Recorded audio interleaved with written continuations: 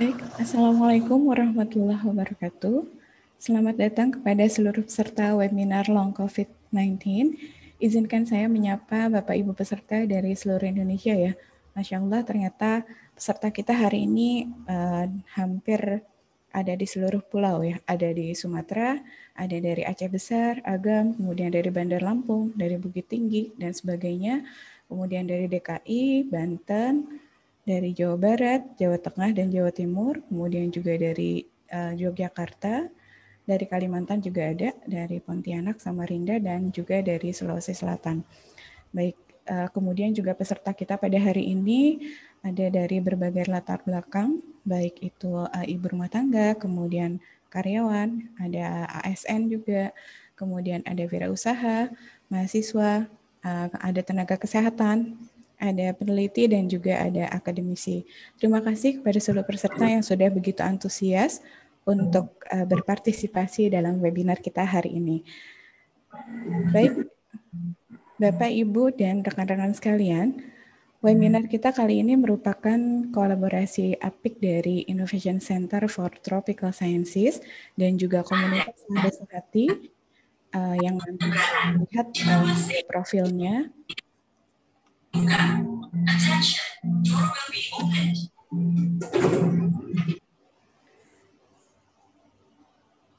ICTS merupakan sebuah lembaga non-pemerintah yang bergerak di bidang riset dan pengembangan, sementara Sahabat Sehati merupakan komunitas pemerhati kesehatan yang banyak berkiprah dengan memberikan edukasi kesehatan untuk masyarakat, di antaranya melalui WhatsApp group dan juga Instagram. Acara ini juga didukung oleh Imani Prokami, sebuah lembaga yang menghimpun para profesional kesehatan muslim se-Indonesia. Baik, selanjutnya kita akan uh, saksikan sebentar video profil dari ICTS dan juga dari komunitas sahabat sehati. Silakan host.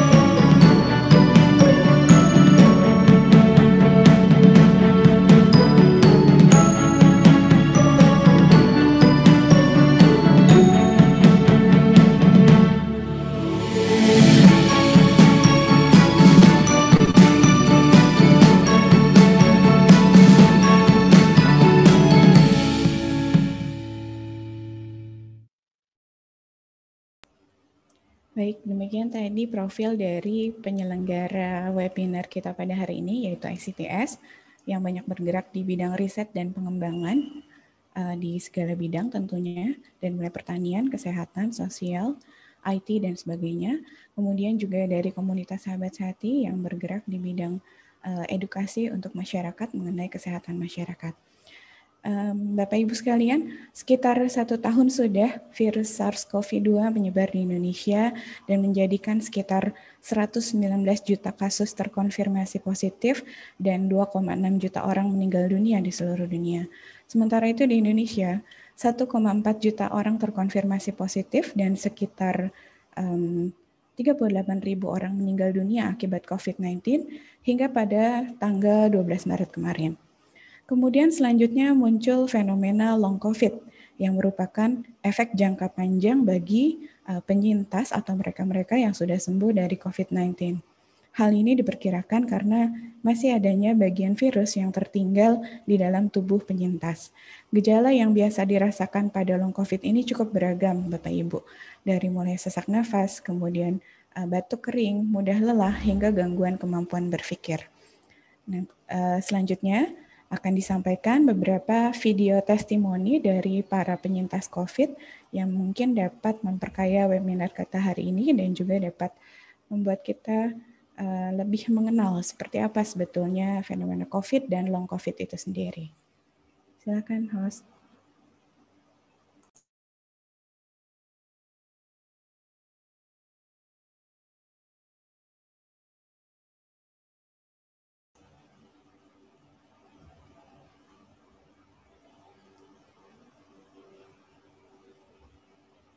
Baik, host, dipersilakan. Oh, ya, Alhamdulillah. Terima kasih. Baik, eh, sedikit ya cerita bagaimana saya terkena di eh, terkena apa namanya COVID ini. Jadi saya dinyatakan positif COVID itu bulan Januari lalu dan gejalanya mirip kalau menurut saya mirip seperti tipes awalnya jadi tenggorokan sakit, kemudian demam tinggi dan susah untuk makan gitu ya. Dan itu saya rasakan selama 2 sampai 3 hari gitu. dan itu tidak turun demamnya. Sampai kemudian eh, puncak-puncaknya saya merasakan sakit yang luar biasa ketika menarik nafas begitu ya. Perih antara dada sampai tenggorokan. Dan itu dirasakan di saat sebelum subuh ya di antara jam 3-an sampai jam 4-an gitu ya di pagi hari. Terus itu berlangsung selama dua hari dan sampai hari yang kedua saya mulai tidak kuat gitu ya dan akhirnya saya dilarikan ke rumah sakit uh, dan singkat cerita uh, di swab kemudian hasilnya dinyatakan positif dan saya harus dirawat di rumah sakit. Nah selama tiga hari di rumah sakit saya tetap merasakan uh, hal seperti seperti halnya di rumah begitu ya dengan gejala yang sama. Uh, masih sakit gitu ketika menarik nafas perih gitu ya. Uh, kemudian uh, demam juga masih ada. Cuman memang uh, sudah berangsur membaik gitu sudah mengasur berangsur membaik dan uh, apa namanya tidak tidak ada gejala setelah tiga hari setelah uh, saya dirawat. Sampai kemudian dua dua pekan saya di uh, rawat di rumah sakit dan dinyatakan uh, sembuh ya. Dua pekan setelah itu saya pulang. Dan dengan PD-nya gitu ya dengan PD-nya saya karena udah ngerasa udah sembuh gitu ya dari rumah sakit dari nyatakan sembuh saya langsung beraktivitas sebagaimana mestinya sebagaimana sebelumnya gitu ya. Eh, aktivitas mengajar begitu ya. Kemudian aktivitas di rumah dan seterusnya itu saya lakukan sebagaimana sebelum saya sakit Nah ini yang kemudian saya tidak tahu uh, apa namanya after effect dari COVID ini sendiri gitu ya. Saya langsung ngajar, saya langsung uh, kelas uh, apa namanya virtual dengan anak-anak gitu ya. Dan itu uh, biasanya gitu kan saya ngajar dua jam sebelum sebelum uh, ini kan saya ngajar dua jam gitu sebelum uh, COVID itu saya ngajar dua jam dan fan-fan aja kalau sebelumnya. Tapi setelah saya pulang dari rumah sakit, saya merasakan hal yang berbeda gitu uh, biasanya saya ngajar dua jam itu kuat dilanjut dengan materi uh, apa namanya rapat gitu ya kemudian uh, apa namanya saya menyiapkan materi-materi untuk ngajar berikutnya itu saya masih kuat. Tetapi uh, anehnya gitu ya. Setelah betul-betul saya ngajar itu saya betul-betul udah nggak kuat dan capek banget.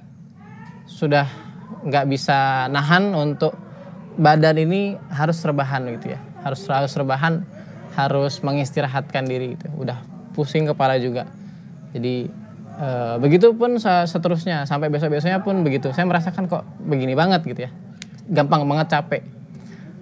E, dan selain itu saya juga e, biasanya kalau sebelum pandemi saya olahraga itu e, rutin ya sepekan mungkin dua kali gitu ya lahir lari-lari sore gitu biasanya saya cukup uh, cukup lama gitu untuk lari sore. Ya sampai 30 menitan. Tapi ini ketika setelah pulang dari rumah sakit setelah dari rumah sakit itu ada hal yang memang saya kemudian loh kok begini ya? Gitu. Jadi lari hanya beberapa menit gitu ya. Saya kemarin waktu itu sempat nyobain lari ya sebentar itu baru beberapa menit. Saya udah ngos-ngosan udah uh, ngerasain uh, apa namanya kepala langsung kelayangan gitu ya langsung kelayangan dan nggak kuat nggak kuat untuk lanjut lari. Sampai akhirnya uh, saya mesen ojek online untuk diantar pulang gitu ya. Karena nggak kuat karena benar-benar nggak kuat. Akhirnya saya pulang. Yang biasanya sebelum sebelum itu saya masih bisa uh, bahkan main futsal juga gitu. Tapi sekarang di bawah 10 menit udah ngerasa banget capek banget capek banget. Setelah itu saya kemudian eh, apa namanya kodarullah dapat informasi juga dari kawan bahwa yang saya alami itu hal yang wajar gitu ya dialami oleh uh, mantan uh, penyintas gitu ya covid. Dan uh, itu mungkin terjadi dengan di, di, di beberapa teman-teman juga begitu ya. Saya juga merasakan oh begini ya ternyata efeknya seperti ini. Setelah covid itu saya merasakan uh, lelah yang luar biasa yang beda dengan sebelumnya gitu ya yang cukup panjang begitu. Nah uh, dan saya juga baru tahu oh namanya oh long covid gitu ya long covid.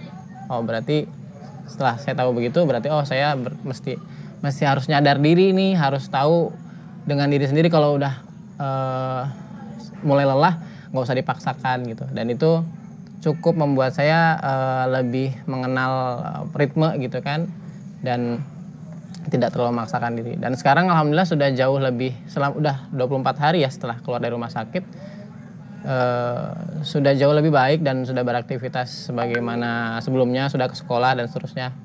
Dan cuman itu uh, saya akhirnya mengatur diri nih kalau udah capek dan saya nggak maksakan gitu. Ya mudah-mudahan uh, uh, hal ini tidak ber berkepanjangan ya dan bisa normal sebagaimana mestinya. Tapi uh, saya tetap yakin bahwa hal ini Allah tidak salah pilih. Allah memberikan uh, ujian seperti ini ya buat saya juga uh, agar lebih bisa banyak mensyukuri apa yang sudah Allah berikan gitu ya. Itu saja dari saya. Terima kasih banyak. Semoga teman-teman semuanya selalu Allah berikan kesehatan, Allah berikan kekuatan dalam setiap menjalani ujian-ujian yang sudah Allah berikan. Terima kasih. Assalamualaikum warahmatullahi wabarakatuh.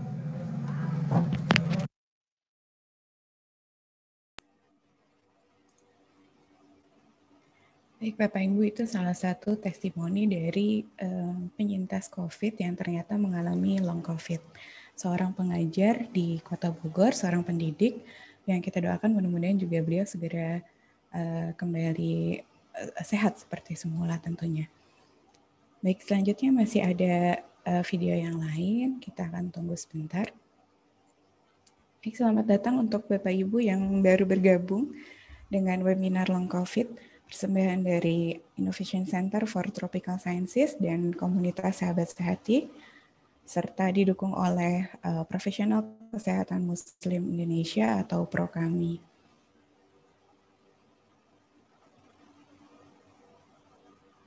Baik, bersama kita hari ini sudah ada sekitar kurang lebih 93 peserta dari 200 peserta yang insya Allah sebentar lagi mungkin akan bergabung bersama kita.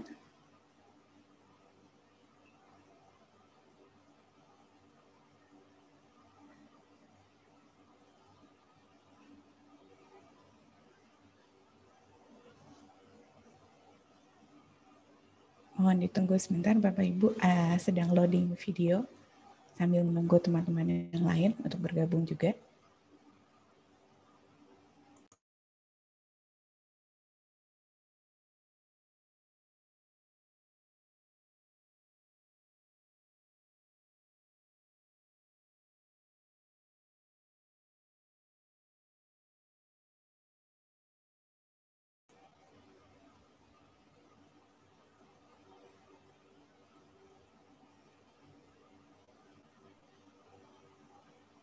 Baik, sambil menunggu uh, apresiasi terbaik kami dari ICTS, sahabat sehati dan pro kami kepada rekan-rekan tenaga kesehatan juga yang uh, sudah bergerak di garis terdepan ya untuk uh, penanganan COVID ini. Di sini juga tercatat ada banyak peserta yang merupakan uh, tenaga kesehatan di Indonesia.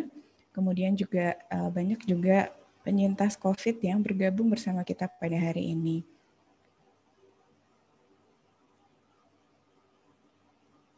Izinkan saya menyapa mungkin ya dari daerah-daerah yang sudah hadir pada hari ini. Yang dari Sumatera boleh tunjukkan videonya. Sumatera mana Sumatera? Yang dari Aceh Besar, dari Agam, Bandar Lampung, kemudian Bukit Tinggi, Padang Panjang, uh, tercatat juga ada dari Batanghari, dari Merangin, dan dari Saralangun. Sumatera mana Sumatera? Boleh suaranya Sumatera? Assalamualaikum Sumatera.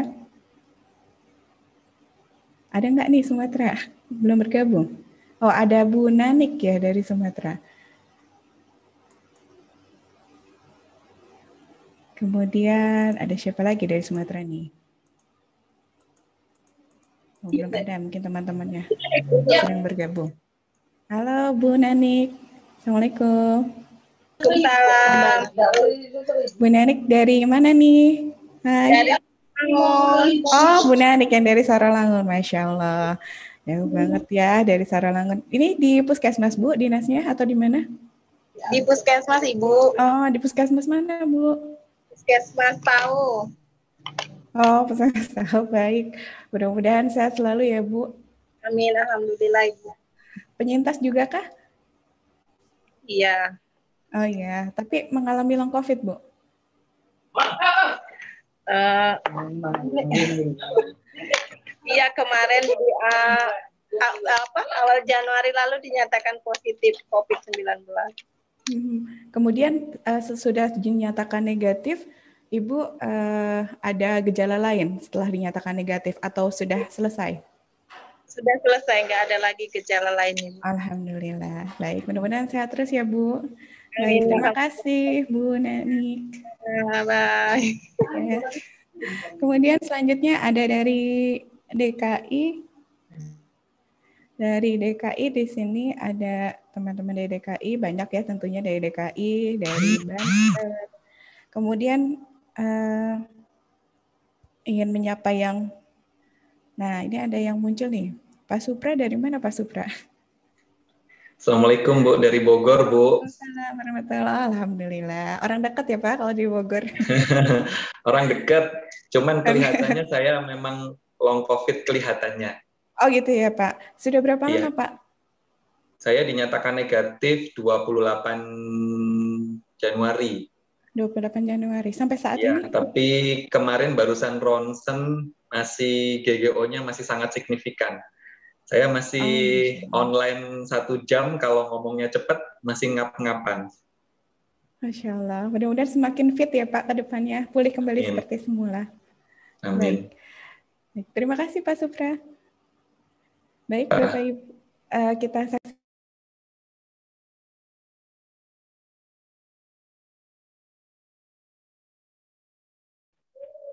Suaranya hilang.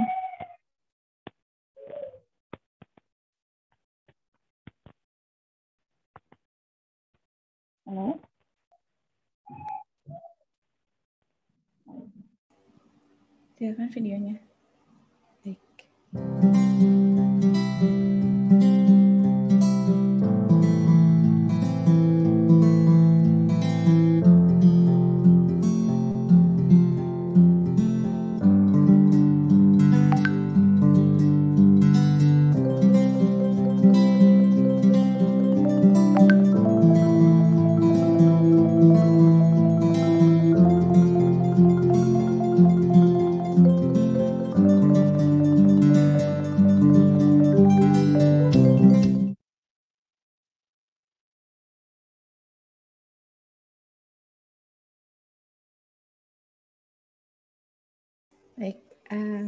Bapak Ibu sekalian, sebelum kita lanjutkan kepada materi juga nanti tentunya uh, kami menginformasikan kepada uh, Bapak Ibu yang, dan rekan-rekan yang menghendaki sertifikat dari webinar, namun non SKP. Mohon maaf untuk kali ini kami belum bisa menyediakan yang ber SKP. Insya Allah mungkin di kesempatan yang akan datang kita akan coba um, buat webinar dengan uh, SKP ya, sertifikat yang ber SKP. Nah, insya Allah untuk teman-teman yang menghendaki uh, sertifikat webinar tersebut dapat melakukan screenshot keikutsertaan di Zoom, kemudian uh, memperhatikan nanti syarat-syarat yang akan di-share oleh teman-teman panitia di room chat. Bapak, Ibu, dan rekan-rekan sekalian, pada saat uh, peserta webinar mendaftar kemarin, uh, kami menyertakan kuesioner terkait dengan COVID-19. Berikut akan kami tampilkan secara singkat hasil dari uh, pengisian kuesioner tersebut. Mungkin slide-nya dapat ditampilkan.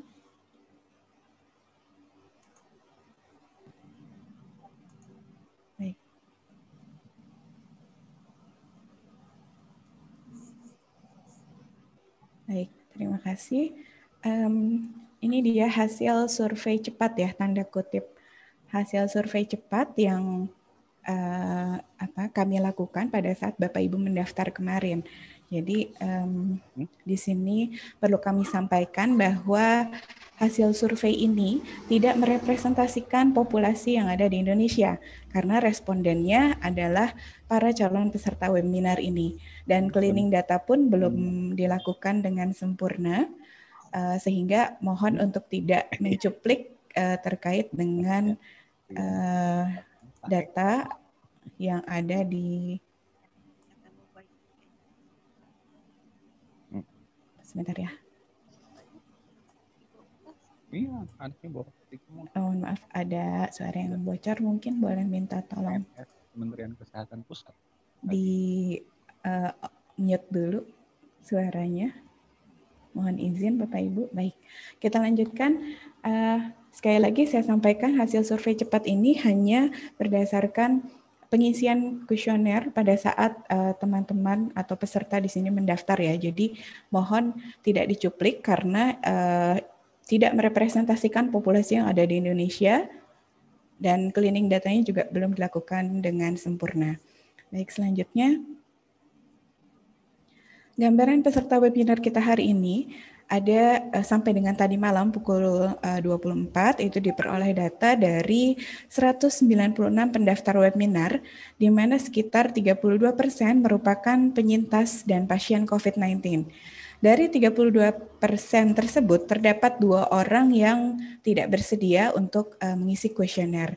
Ya, dan dari 60 orang yang tersisa yang berkenan untuk mengisi kuesioner tersebut, 92% dinyatakan sudah sembuh dan sisanya masih berjuang dengan COVID-19. Semoga eh, rekan-rekan penyintas dan pasien COVID yang ada di uh, webinar kali ini dan juga yang ada di luar sana segera Allah berikan kesembuhan dan bisa sehat seperti semula. Sekitar 70% dari para penyintas yang merupakan peserta webinar hari ini mengalami gejala sisa. Next. Slide berikutnya.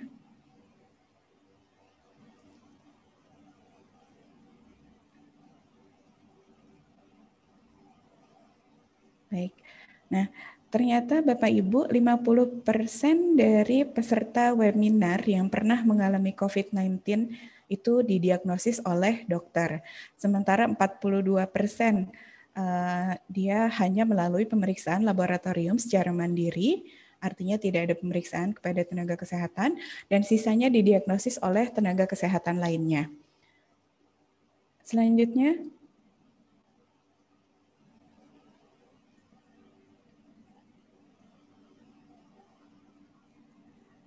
Beberapa responden menduga bahwa mereka terpapar di lebih dari satu tempat. Uh, tiga tempat yang diprediksi terbanyak oleh responden menjadi tempat penularan COVID-19 adalah di rumah, kemudian di fasilitas kesehatan, dan juga di tempat kerja. Karena mungkin di tempat-tempat inilah uh, sering kali kita lalai dengan protokol kesehatan ya. Baik, selanjutnya.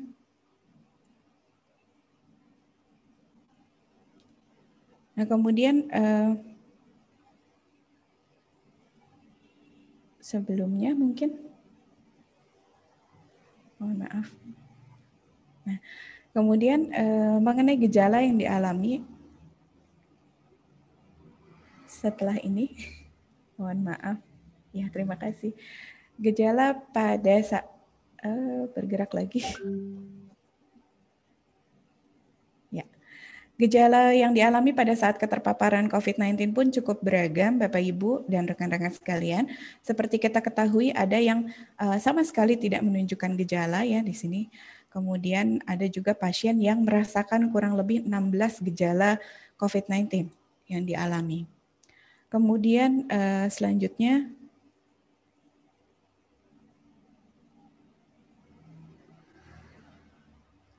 Ya, sekitar 50 persen uh, pasien dinyatakan sembuh berdasarkan pemeriksaan dokter, sisanya oleh uh, nakas lain dan pemeriksaan mandiri, serta masih ada pasien yang tidak dinyatakan sembuh, namun kemudian uh, kembali beraktivitas setelah menyelesaikan tahapan isolasi mandirinya.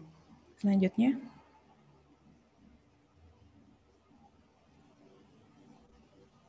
Seperti di, telah diketahui di slide yang awal tadi, yang serupa dengan ini, sekitar 70% dari para penyintas yang merupakan uh, peserta webinar hari ini mengalami gejala sisa. Hingga pada kasus yang terberat, ada um, 17 gejala sisa yang dialami oleh satu orang penyintas.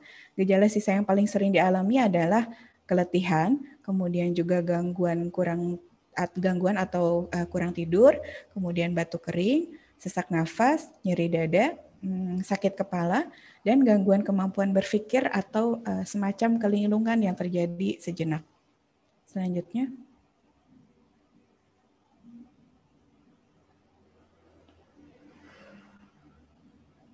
Lamanya gejala sisa yang dirasakan dimulai hingga beberapa jam setelah dinyatakan negatif hingga 11 bulan setelahnya, setelah dinyatakan negatif.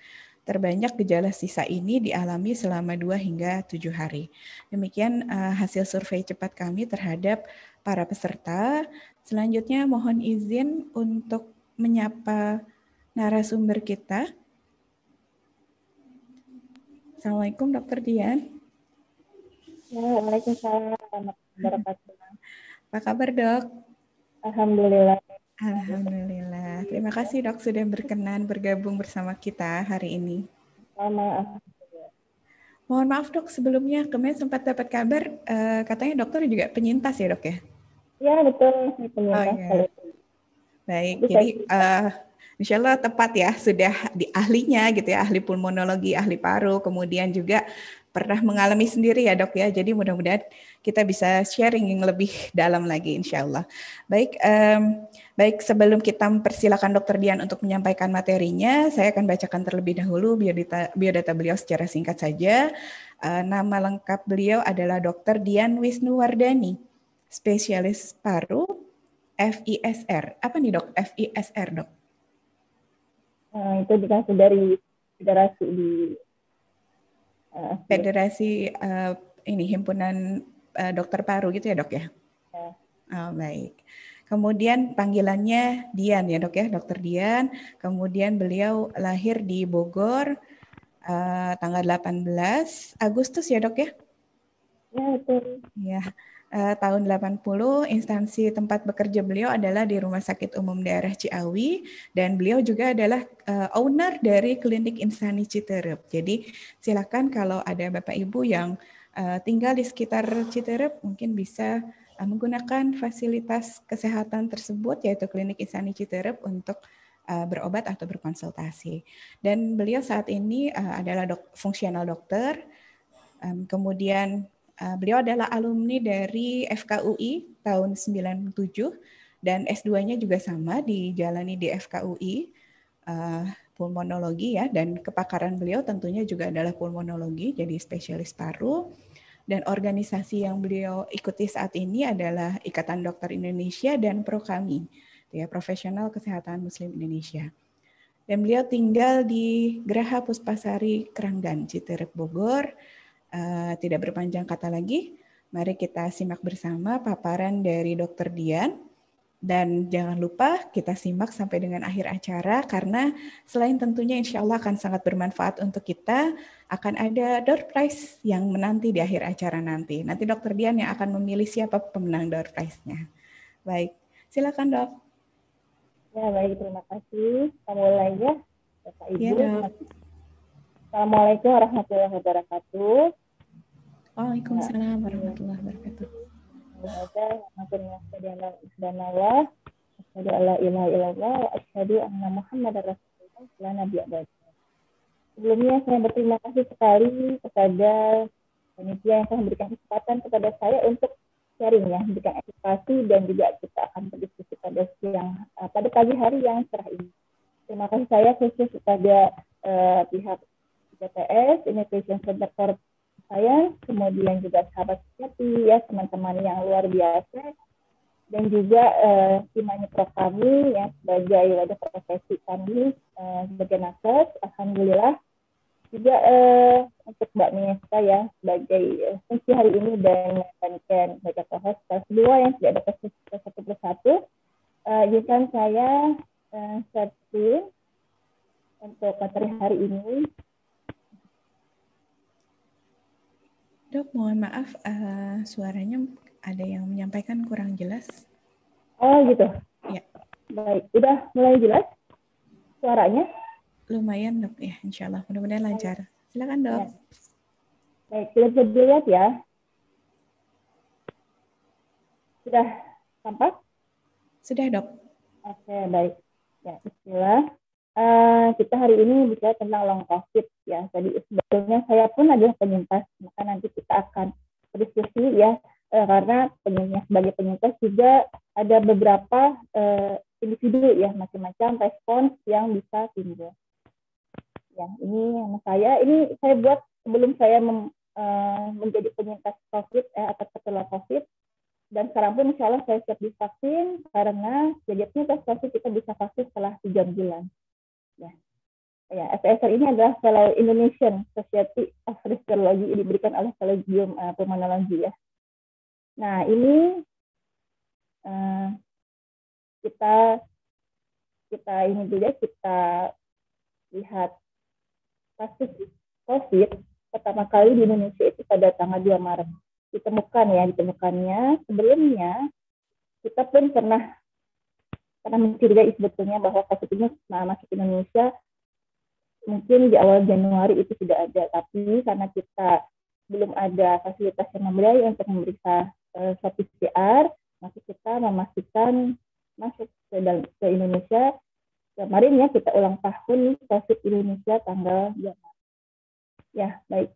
Jadi eh, seperti ini ya memang kasusnya itu banyak sekali ini di Indonesia. Kalau ini uh, saya ambil dari update di bulan Januari. Kasus positif meningkat tajam ya itu sedang pik-piknya waktu itu. Ya kalau sekarang kita lihat sepertinya agak mulai turun ya. Agak mulai turun artinya uh, nanti kita lihat di slide selanjutnya. Ya. Kematian COVID di Indonesia juga sangat tinggi bahkan melampaui dunia. Ini sudah di diberikan langsung statementnya oleh Pak Presiden. Ya kita sangat berduka cita, banyak sekali kehilangan saudara, teman, keluarga, ya guru, ya eh, orang-orang yang kita hormati, kita sayangi, dan yang merupakan aset negara kita. Ini aset bangsa yang sebetulnya merupakan guru bagi generasi penerus. Yang ini pemicunya adalah karena kurang kesadaran masyarakat untuk menjalankan protokol kesehatan juga ada sebagian yang memiliki penyakit bawaan seperti diabetes, hipertensi, jantung, dan lainnya. Dan juga mayoritas pasien berusia lanjut. Nah, ya. Maaf, ya, maaf, ini ada uh, ada pas peserta ini ada di waiting room karena muncul di layar saya ya, maaf ya. Nah, jadi uh, untuk update ini ada kasus ya ini saya ambil dua hari yang lalu kita lihat bahwa angka COVID yang paling tinggi itu di DKI Jakarta dan kita di Jawa Barat menempati posisi kedua. Ini bukan rancangan yang baik ya tentu saja Bapak Ibu teman-teman ini adalah suatu pengingat bagi kita bahwa harus uh, lebih waspada karena sakit itu ada di sekitar kita bahkan sudah masuk ke rumah kita.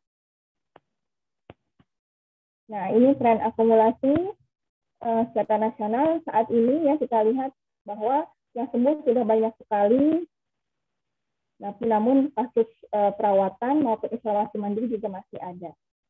Ya, yang meninggal ya kita lihat uh, lumayan ya. Kita tidak membicarakan persentase yang kecil soal kematian ini bukan apa-apa karena setiap nyawa adalah aset kita, adalah duka bagi keluarga yang ditinggalkan. Jadi nyawa itu merupakan uh, harta yang tidak ternilai.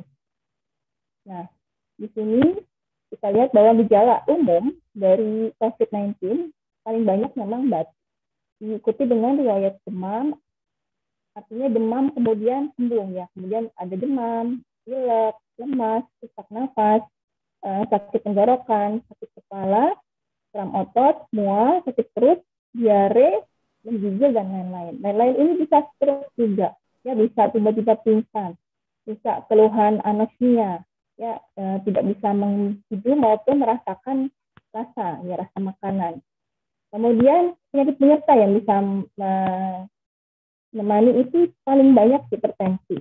Ya. Kemudian ada diabetes, penyakit jantung, kehamilan ini banyak ya ibu hamil yang sudah positif COVID, eh, penyakit paru kronis, penyakit ginjal, eh, penyakit nafas yang lain, kanker, asma, TBC dan eh, lain-lain.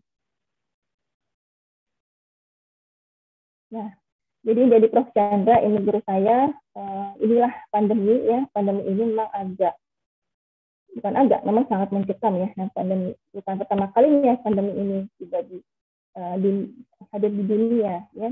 Nah ini kita sekarang ada di dalam fase 5 ya karena um, saat sedang banyak-banyaknya kasus ya terjadi perkembangan dari yang tadinya uh, itu penularan terjadi antar hewan, kemudian mulai ke manusia dan sekarang menular, sangat menular di antara manusia sendiri. Mudah-mudahan kita melalui pandemi dengan uh, terkendali ya dalam kondisi stabil. Nah, ini mungkin secara singkat bahwa COVID itu ya sekarang tuh kayak kita banyak lihat ini ya uh, bentuk siapnya cuman COVID ya seperti ini. Yang jadi COVID itu uh, tidak bisa kita lihat. Justru ini adalah hantu ya, seperti, seperti hantu yang tidak bisa kita lihat, namun sangat uh, berbahaya karena dia mudah sekali masuk ke mana-mana. Ya, nah jadi uh, virus itu akan masuk ke dalam sel, ya itu juga sebagai uh, organ penerima itu tidak hanya di saluran nafas ya, tapi juga banyak reseptor di organ-organ yang lain. Ya, hanya ada juga yang gejalanya stroke, tadi sakit jantung, ada diare gitu. Ya, sangat bervariasi, makanya disebut sebagai penyakit seribu uh, wajah gitu ya karena sangat variasi keluhannya. Tadi sudah diterangkan. Jadi virus ini akan masuk kemudian ke, dal uh, ke dalam sel, kemudian akan menginvasi uh, sistem imun di dalamnya yang mempengaruhi S dan neutrofil dan ini akan menyebabkan badai sitokin ya. Nah, badai ini yang tadi akan menyebabkan gejala uh, berat bahkan kritis. Bahkan itu akan membuat dampak uh, menjadi timbul kerusakan di jaringan, ya di jaringan paru dengan melalui pneumonia. Pneumonia adalah penyakit infeksi paru ya akibat bisa akibat virus, bisa akibat jamur, kuman dan lain sebagainya. Ya, pada dalam hal ini maka pneumonia akibat COVID akan menyebabkan juga teman-teman yang lain masuk karena tadi menyebabkan kerusakan ya pada sel Ya, baik Bapak Ibu, ini nanti setelah seperti supaya lebih mudah ya. Uh, kita pahami dulu ya update tata laksana. Jadi kita sekarang mengenal ada empat istilah. Yang pertama suspek, probable, konfirmasi, dan kontak erat. Apa sih kontak erat? Kalau sekarang kita dengarnya kan orang bilang terpapar, saya terpapar gitu. Sebenarnya kita le bisa lebih spesifik mengatakan bahwa saya ada kontak erat. Kontak erat artinya tetap muka atau kedekatan dalam radius 1 meter ditambah jangka waktu lebih dari 15 menit.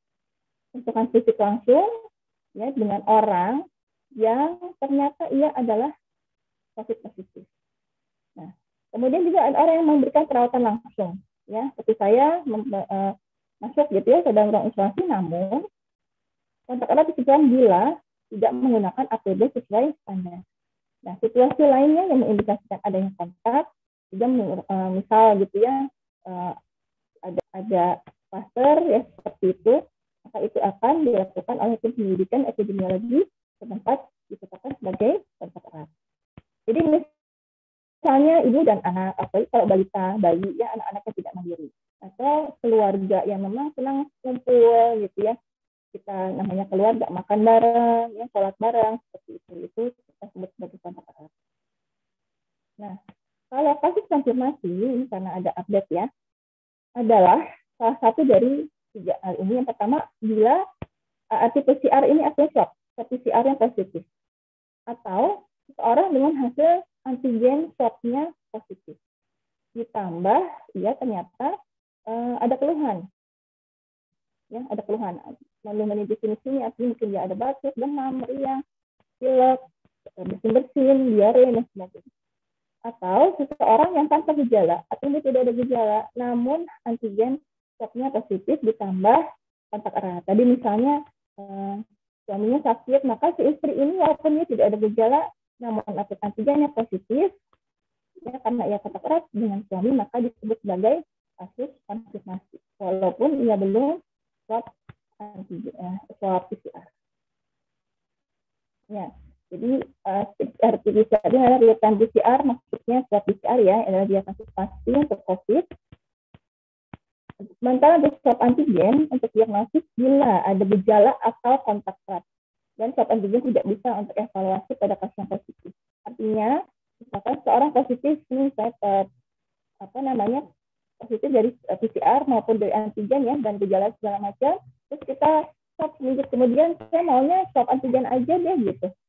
Hasilnya apa nah misalnya atau dua minggu kemudian nah, nah itu uh, sebetulnya tidak untuk evaluasi karena swab antigen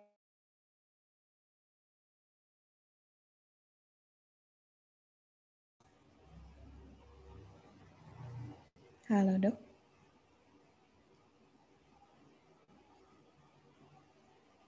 Mohon maaf, apakah di layar Bapak Ibu Dr. Dian juga uh, freeze? Ya. Ya, baik. Mohon izin kita tunggu sebentar beliau untuk stabil kembali.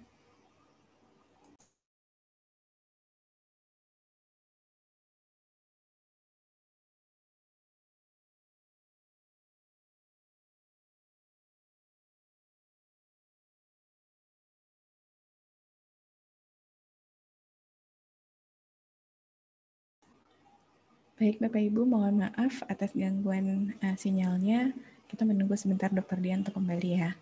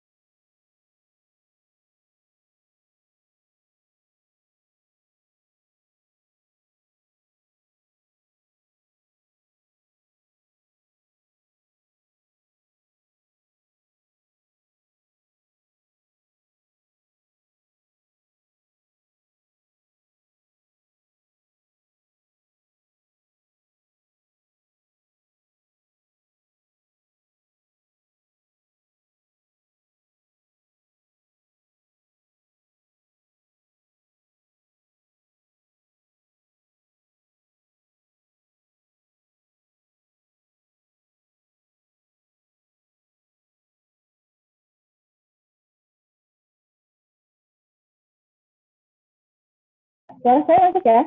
Oh, baik. Alhamdulillah. Iya, baik dok. Alhamdulillah.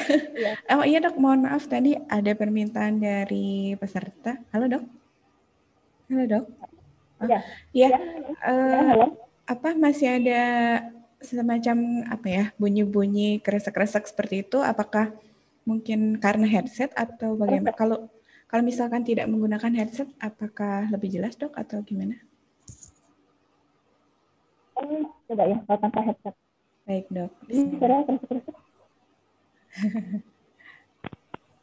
Mohon maaf dok. Masih, masih kerasa nggak? Masih, Eh. masih kerasa-kerasa. Halo. Masih kerasa-kerasa ya suaranya? Masih, masih. Ya, halo. Iya dok, masih dok. Masih. Masih. Oh, coba, coba bukan Iya. dulu. Baik dok.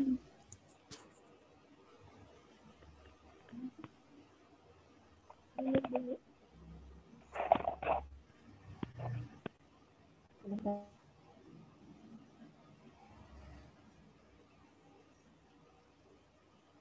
Bapak Ibu, sebentar kita menanti proses mudah-mudahan lebih jelas lagi.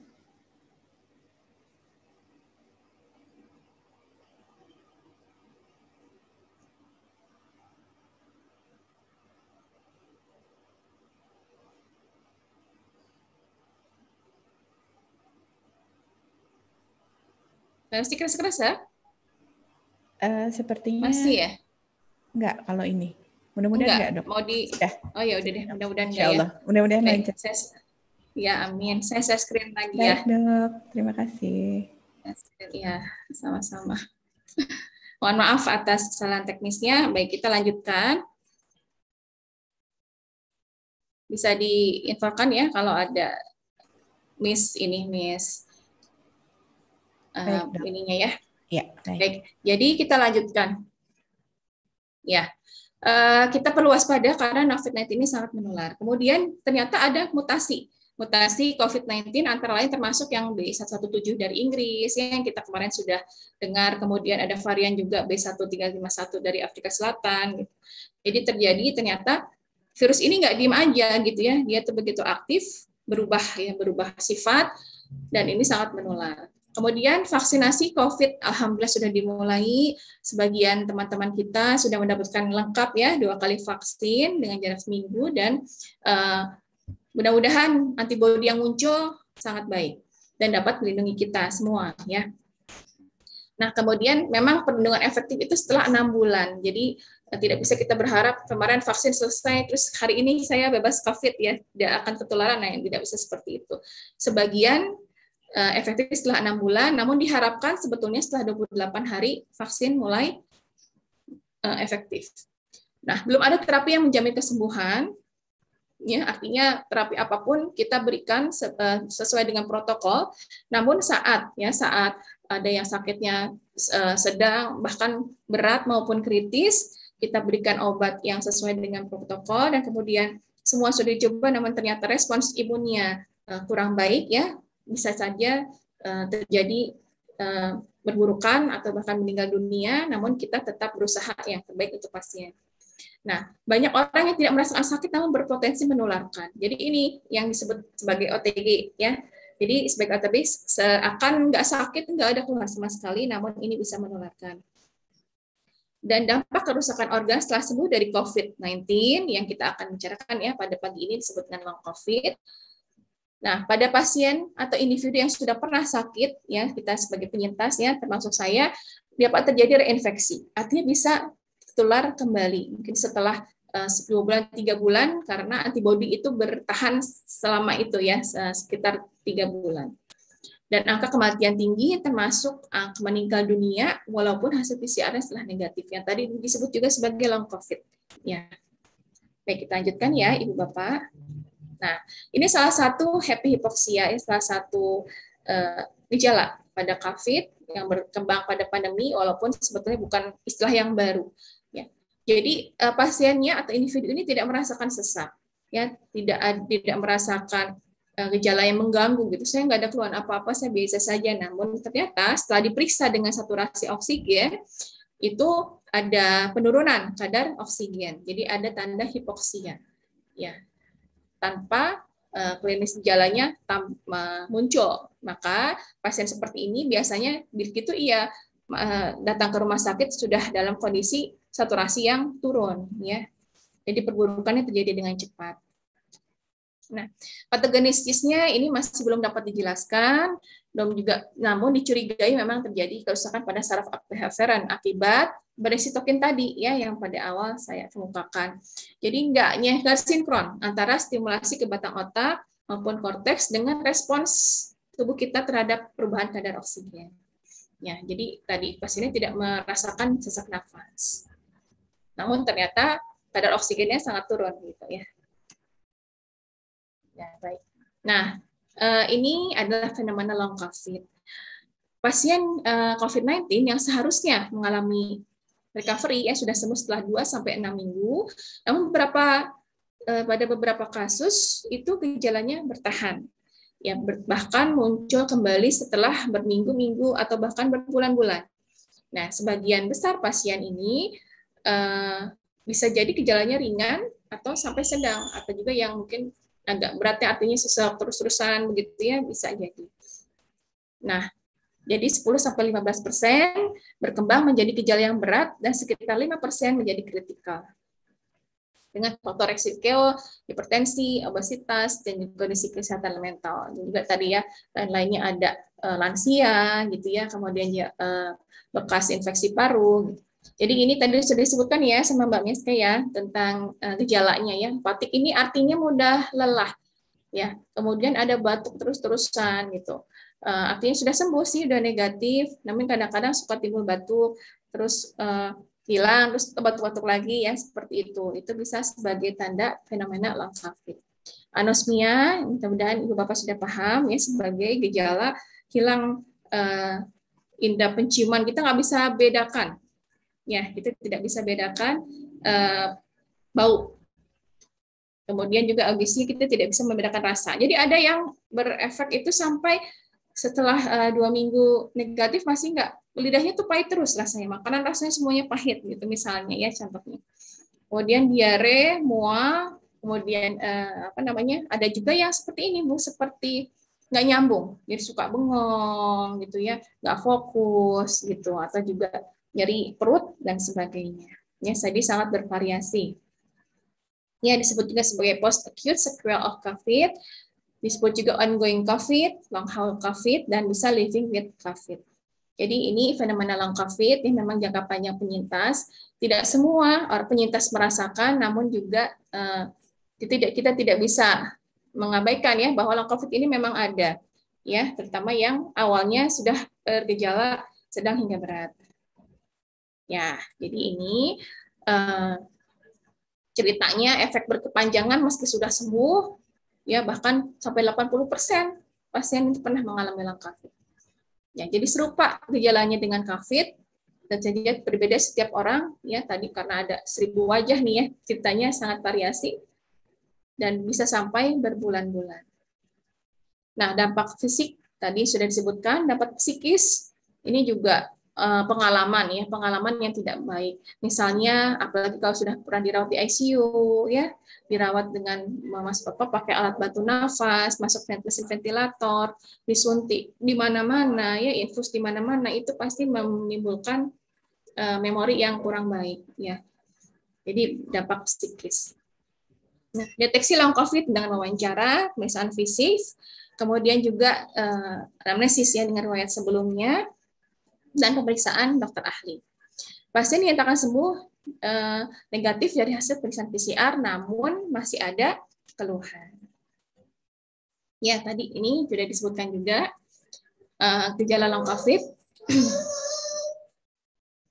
Nah, ini kalau ini pada sebuah artikel ini sih diambil dari secara secara umum. Ya hospital acquired severe acute respiratory syndrome. Artinya tidak pada covid saja.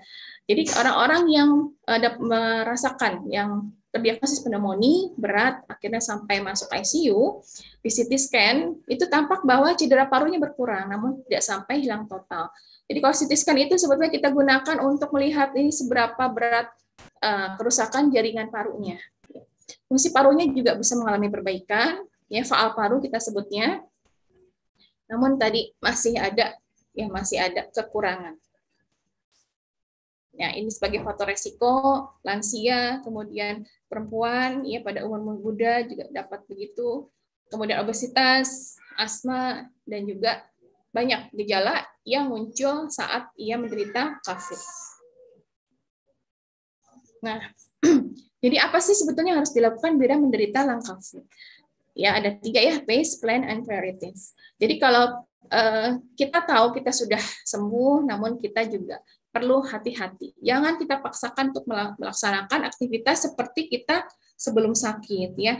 Jadi kita cicil mungkin ya pekerjaan uh, kita ambil jeda lah, kita ambil jeda ya. Kita perlu istirahat. Kemudian kita uh, merencanakan ya aktivitas mana yang kita perlu lakukan dulu. Dan selanjutnya kita perlu membuat prioritas. Jadi kita tidak bisa kita harus menerima bahwa kita mungkin tidak sama dengan sebelum saat kita sakit gitu ya. Insya Allah untuk kebaikan kita juga. Karena kita juga ada keluarga yang perlu diperhatikan ya seperti itu. Dan juga kondisi pandemi seperti ini memang memerlukan uh, kehati-hatian. Ya. Sebagai tata laksana umum long COVID pertama adalah tidur yang cukup ya 6 sampai 8 jam. Saya ambil 8 jam karena memang uh, kita perlu ya organ-organ itu perlu istirahat yang cukup. Bukan sekedar istirahat ya ibu bapak ya tapi memang tidur. Kalau istirahat kadang-kadang sambil rebahan sambil pegang HP nanti ya. Nah, buka medsos baca berita yang eh, kadang-kadang bikin sedih gitu ya. Apalagi kondisi seperti ini maka kita betul-betul mengalokasikan waktu itu untuk tidur. Kemudian pembebanan fisik secara bertahap tadi seperti sudah disebutkan jadi kita punya prioritas pekerjaan dan bisa dilakukan rehabilitasi medik dan fisioterapi pernafasan. Ya. Uh, untuk para penyintas Bapak Ibu yang tadi sempat uh, memberikan testimoni di awal uh, webinar ya alhamdulillah ya. Saya apresiasi sekali gitu ya pada para teman-teman yang sudah memberikan sudah sharing bahwa sebetulnya memang ada keluhan pernafasan dan ini kita bisa lakukan dengan uh, tata laksana rehabilitasi medik dan fisioterapi. Yang mudah dipimpin di rumah kita bisa lakukan dengan tidur tengkurap ya telungkup. Ya bisa kita coba ya e, bertahap sih ada yang mungkin 10 menit udah nggak kuat ada yang setengah jam tidak apa kita coba. Mungkin sebaiknya bisa sampai tiga tiga kali satu jam sehari. Kita lakukan bertahap ya. Apalagi kalau misalkan yang sudah pernah e, masuk ke dalam mesin bantu nafas ventilator itu agak susah ya bahkan mungkin hampir mustahil gitu ya untuk tidur telungkup nah ini kita lakukan pelan-pelan Kemudian suplementasi vitamin, mineral, dan antioksidan kita bisa teruskan ya Bapak Ibu ya. Misalkan selama dirawat sudah dapat vitamin selama dua pekan, dua minggu, kemudian negatif, selanjutnya kita boleh teruskan ya untuk vitamin, mineral, dan uh, lain-lainnya. Dan juga jangan lupa kita harus rileks, bahagia, dan bersyukur. Ya, apa cara terbaik mencegah long COVID? Ada uh, kuncinya adalah mencegah tertular COVID. Ya, dengan vaksinasi, kemudian dengan protokol kesehatan, dan dengan 5M. Memakai masker dengan benar. Jadi memakai masker tidak sekedar pakai masker, tapi juga harus menutup hidung dan uh, sampai dagu ya harus tertutup.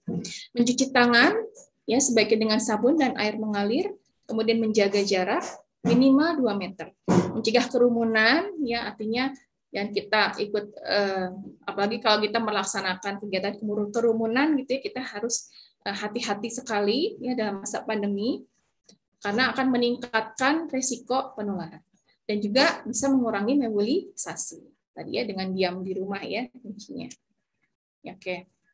Baik. Nah, vaksinasi ini salah satu uh, cara mencegah long COVID. Kenapa? Karena ini menimbulkan ya kita berharap ini menimbulkan kekebalan dalam tubuh kita. Kemudian menurunkan kesakitan dan kematian akibat COVID. Ya di sini ya menurunkan kesakitan dan kematian ini kan salah satu eh, dampak dari COVID sendiri. Sudah negatif tetapi masih sesak terus. Sudah negatif eh, swab PCR-nya ya masih di rawat ICU sampai sebulan kemudian masih di ICU juga karena tidak dapat melepaskan ketergantungan terhadap oksigen ya itu adalah langkah COVID. Ya, jadi uh, dengan vaksin ini insya Allah melindungi dan memperkuat sistem kesehatan secara menyeluruh dan juga menjaga produktivitas dan minimalkan dampak sosial dan ekonomi. Ya, baik Ibu Bapak karena memang uh, dampak pandemi ini sangat banyak ya, apalagi kalau kita masyarakat Indonesia disuruh di rumah aja, terus yang bekerjanya, yang mendapatkan penghasilannya itu uh, per hari itu bagaimana gitu ya. Jadi itu adalah banyak sekali apa namanya hal-hal yang perlu kita perhatikan. Ya, insya Allah dengan vaksin ini sebagai salah satu ikhtiar kita. Ya, jadi dari Majelis Ulama MUI sudah diperbolehkan di sini ya, hukumnya halal dan suci. Insya Allah kita percayakan kepada ahlinya ya, Ibu Bapak dan teman-teman ya. Nah, ini juga sudah ada uh, eh, ACC ya, ACC dari eh, lembaga-lembaga uh, emergency use authorization maupun BPOM yang juga mereka sudah secara intens memperhatikan keamanan dari vaksin corona. Sinovac. Ya ini terutama Sinovac yang kita bicarakan ya, Bapak yang sudah kemarin diberikan eh, pada banyak penduduk ya dan juga nakes. Ya, jadi ini kondisi yang diharapkan muncul kekebalan individu yang akhirnya muncul kekebalan kelompok atau head immunity ya dan kita bisa eh, mengatasi pandemi lebih cepat. Namun tetap kita ingat bahwa vaksin tidak menggantikan protokol kesehatan ya. Tetap harus kita lakukan prokes. Ya, ini herd immunity. Jadi kalau uh, ada yang sakit, ini ya kita yang sakit yang yang warna merah ini ya pink ini, kalau dia kalau lingkungannya tidak terjaga maka dia akan menularkan orang lainnya. Misalkan dia menularkan tiga orang, dan selanjutnya tiga orang ini akan menularkan lagi ke yang lain. Begitu cepatnya penularan terjadi. Ya, makanya perlu dilakukan tracing ya, perlu dilakukan tracing karena memang Eh, cepat sekali ya bisa menular ke sana sini gitu. Kemudian kalau vaksin maka dia akan eh, apa namanya membatasi penularan ya jadi kalau misalkan dia ternyata menularkan hanya kepada satu orang nah yang lainnya yang sudah divaksin dia tidak eh, apa tidak tertular gitu ya eh, maksudnya eh, kita perhatikan kembali bahwa tadi ya antibodi setelah vaksin itu munculnya berbeda-beda tapi kita berharap pada kasus yang uh, vaksin yang efektif, antibodinya muncul dengan baik, maka akan sangat menjaga, akan sangat bermanfaat dalam melindungi orang lain supaya tidak tertular COVID. Ya, seperti ini.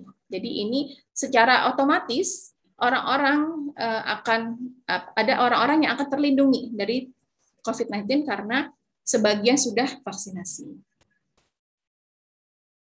Ya. Jadi ada namanya KIPI atau uh, kejadian ikutan pasca imunisasi. Nah, sebetulnya ini adalah uh, apa? keluhan ya. Kadang-kadang setelah vaksin keluhan ada keluhan.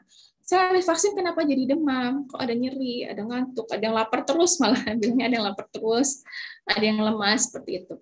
Apakah ada KIPI? Nah, KIPI ini wajar ya, wajar terjadi tidak hanya pada vaksin COVID, namun juga pada vaksin-vaksin yang lain, imunisasi yang bisa kita lakukan, entah itu untuk anak-anak kita maupun untuk kita sendiri.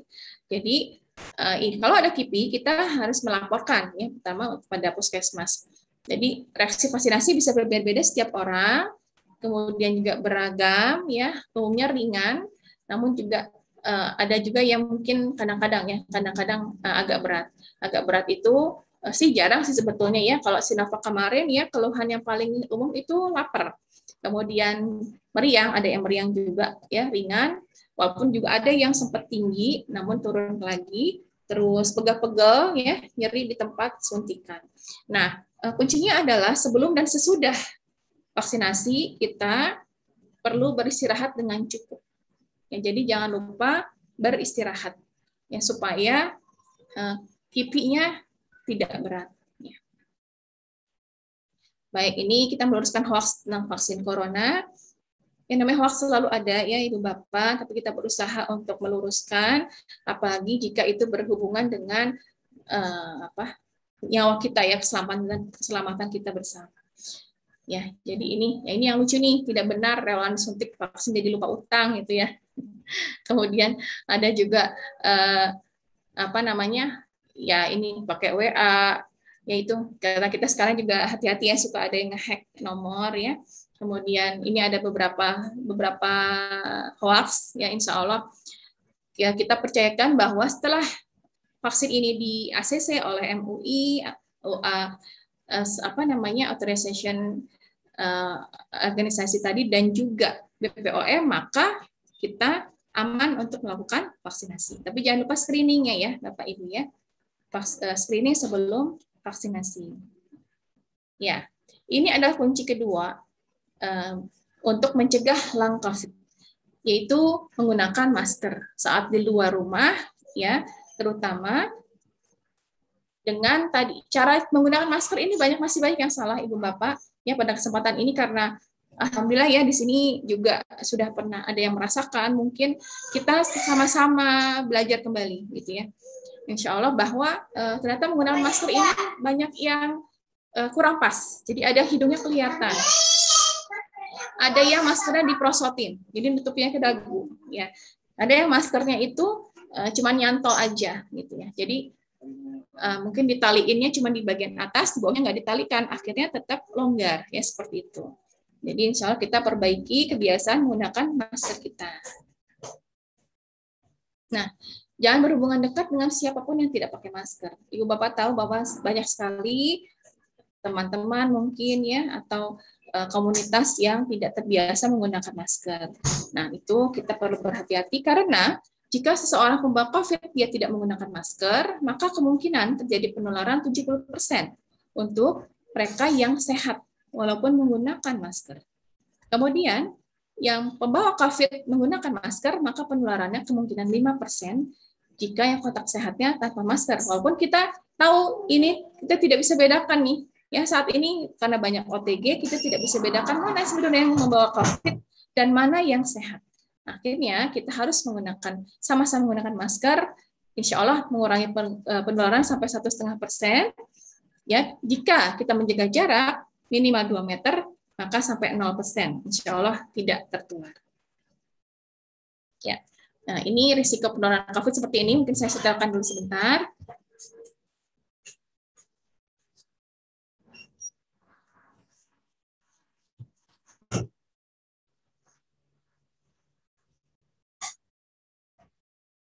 Jadi ini ada individu yang sakit.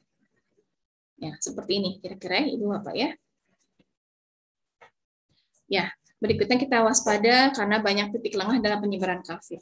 Ya, saya sendiri sebagai penyintas saya jujur saya tidak tahu ya siapa dulu yang ketularan karena kami kebetulan sekeluarga dan kemudian dapat dari mana? Gitu karena kami sangat berhati-hati gitu ya.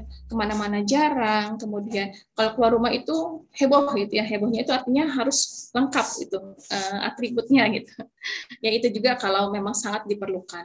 Ya tapi ya kita tidak tahu ya kadarullah memang sudah tiba saatnya tertular ya kita tidak bisa menolak. Tentu saja yang penting kita uh, menjaga supaya uh, tidak menularkan kepada orang lain lagi ya karena tadi ya kita tidak tahu saya tidak ada gejala ternyata saya positif ya itu bisa menularkan orang lain. Maka tetap kita waspada dalam titik lengah penyebaran COVID misalkan tidak makan bareng ya kongko-kongko itu mendekat saya nih sahabat saya kok gitu ya. Nggak mungkin mungkin dia sakit atau dia sehat-sehat aja nggak ada gejala. Nah itu hati-hati. Nah, seperti itu. Kemudian penggunaan lift ya dengan jumlah orang yang banyak ya padat, apalagi kalau tanpa masker atau ada yang batuk di dalam. Nah, itu hati-hati. Nah, dalam satu kendaraan, pertama kendaraan umum, kemudian ada kerja bareng atau rapat. Nah, foto grup atau selfie ini hati-hati ya biasanya kalau foto itu rasanya sungkan kalau pakai masker. Jadi pengennya buka aja gitu masker supaya bisa kelihatan wajahnya. Nah, ini hati-hati. Yang memang uh, menjadi kekurangan kita ya kadang-kadang ya. Jadi kita diwajibkan tetap menggunakan masker walaupun saat foto. Kemudian juga tempat wudhu. Ya, kenapa? Karena saat wudhu kita melepaskan masker. Ya, jadi eh, beberapa kasus memang ketularan itu setelah berwudhu, ya karena setelah lepas masker ternyata teman wudhunya adalah COVID positif. Ya, kemudian toilet umum. Kenapa ya? Contohkan toilet umum tempat bersih bersih ya. Ini tadi diare pun sebagai salah satu gejala COVID bisa. Jadi eh, toilet umum harus dipilih yang sangat bersih kalau kita terpaksa harus uh, mampir ya. Kemudian antrian, makanya kalau antrian kita jarakkan 2 meter ya. Kemudian di asrama nih hati-hati apalagi kalau satu kamar rame-rame ya lebih dari dua orang, nah itu hati-hati. Saudara dan keluarga ini ibu bapak bukan berarti aman ya. Justru kluster keluarga ini sekarang banyak ya, ada yang menularkan uh, keluarganya, ada yang menularkan orang tuanya, bahkan sampai uh, saudara yang tidak serumah gitu ya karena kebiasaan kumpul-kumpul tanpa masker ya. Oke, selanjutnya adalah rajin cuci tangan. Ini juga sangat penting. Insya Allah Bapak Ibu sudah tahu, ya harus kita perhatikan sekali. Nah, ini diam di rumah. Diam di rumah ini kunci juga untuk memutuskan rantai penularan, walaupun agak sulit ya. Sekarang rasanya karena new normal, ceritanya semua orang semangat gitu keluar rumah. Nah, ini hati-hati uh, hanya untuk keperluan mendesak atau penting. Ya, beraktivitas normal di rumah, berjemur sinar matahari, uh, itu sangat baik ya untuk kita semua yang untuk yang sehat sekalipun. Kemudian berolahraga ringan ya bisa kok. Uh, di rumah juga bisa.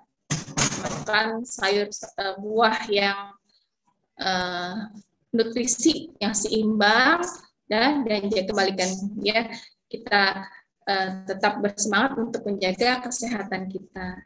Nah, mungkin sedikit cerita ini uh, putra-putri saya, ibu bapak, uh, kami kami kemarin kena semua ya, kecuali kecuali satu uh, yang kecil ini dia negatif tiga kali swab ya sampai swab dia ikut gitu. Alhamdulillah hasilnya negatif dan dia diungsikan ke tempat saudaranya Uh, saudaranya pun karena kami berdekatan, mereka semua di swab antigen. Walaupun kita rumahnya berdekatan, saat kita berjumpa kita harus menggunakan masker. Itu sebagai salah satu kunci. Ya, jangan sampai kita sakit, kemudian saudara juga kena, ya uh, orang tua kena, ya seperti itu ya. Nah, ini juga salah satu hal yang penting yaitu menerima tamu. Menerima tamu kita tidak menggunakan masker, terus makan minum bersama, terus dempet-dempetan, selfie. Nah, itu hati-hati. Jadi kita kembalikan ke prokes. Ya, pernikahan tentu saja tidak bisa kita hindari ya itu ada suatu ibadah ya. E, boleh tentu saja boleh dan kita prioritaskan untuk akad yang tidak dihadiri lebih dari 10 orang yang menjaga jarak ini sebaiknya 2 meter ya. Kemudian tidak melakukan jabat tangan atau cium pipi tanpa uh, pelindung tangan. Artinya bersentuhan kulit karena ini tadi disebut sebagai kontak erat. Ya. Misalnya, ini misalnya sekalian kalau misalkan dalam acara tersebut ada yang positif COVID, ternyata ia buka masker di situ, makan minum bersama, satu orang saja, kemudian duduk tidak menjaga jarak, bersalaman, cium pipi, foto bareng, namanya acara pernikahan ya. Rapih ya, maksudnya pakai batik segala macam.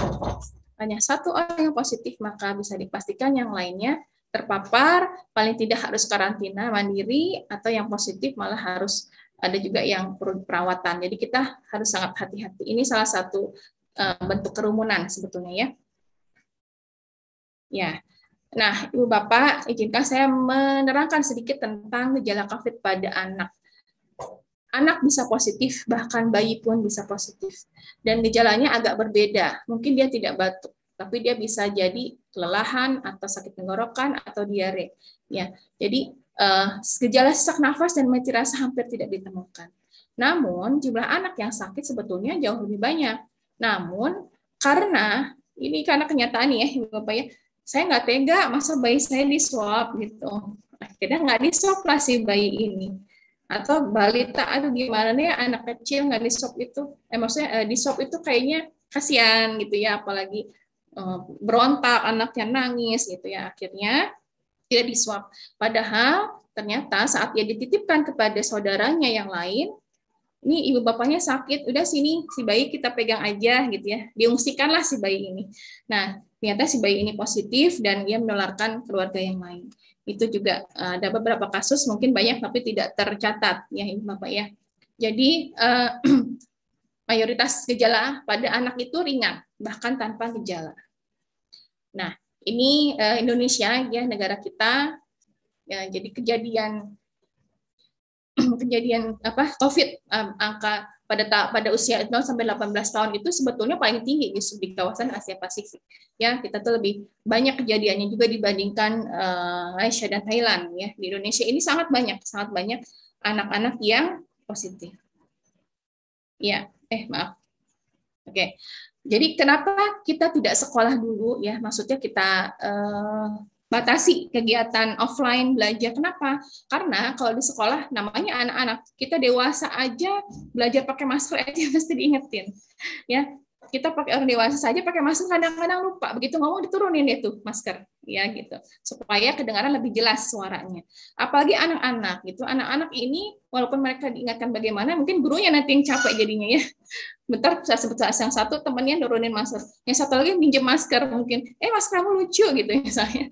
Atau mungkin ya khas itulah karena anak-anak memang wajarnya bercanda ya bermain gitu.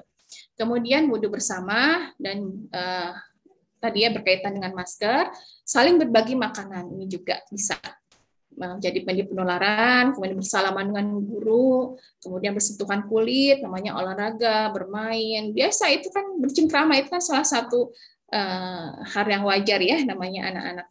Kemudian juga toilet sekolah. Nah ini toilet umum, artinya bisa menjadi uh, media uh, penularan ya.